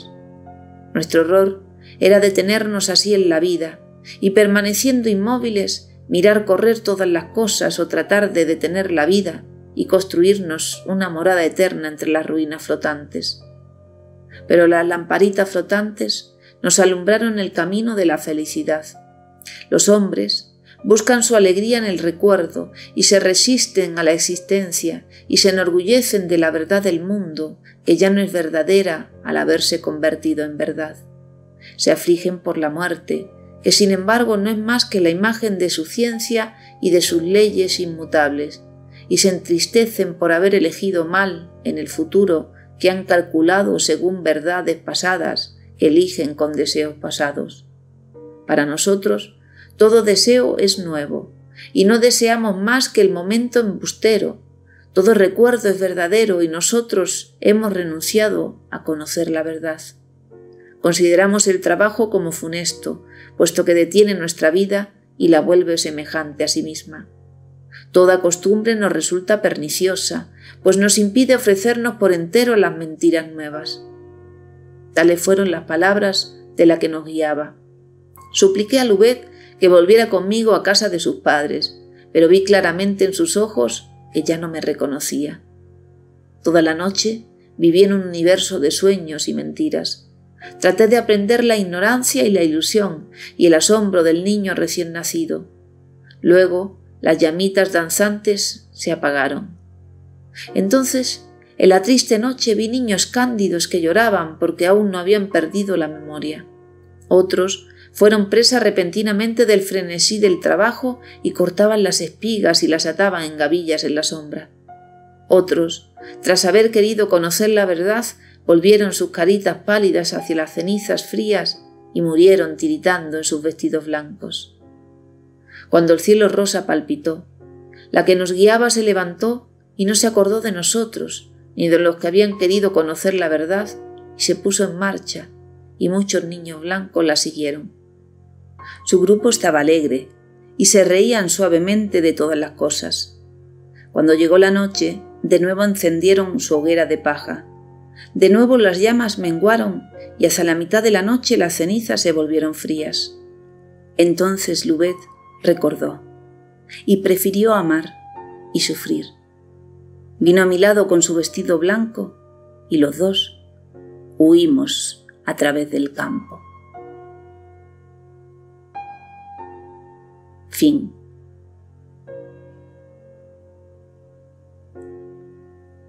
El libro de Monel. Una lectura realizada por Elena Trujillo. Este es un espacio dedicado al psicoanálisis.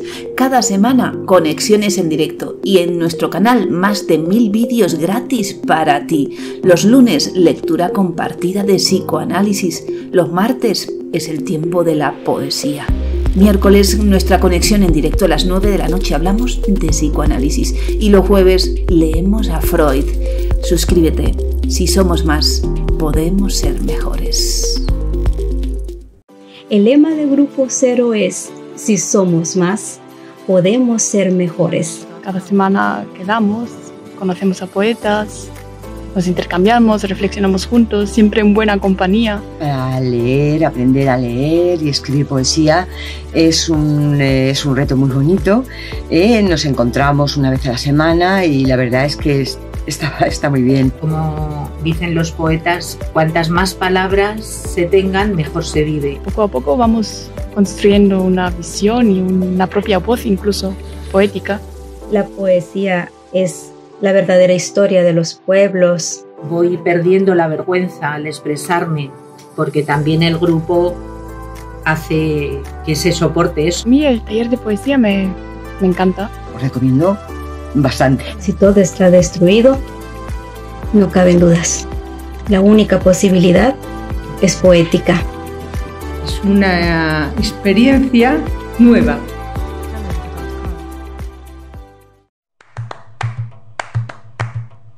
Cada martes a las 10 y cuarto de la noche, en hora española, tienes una cita con la Sexualidad Femenina Radio.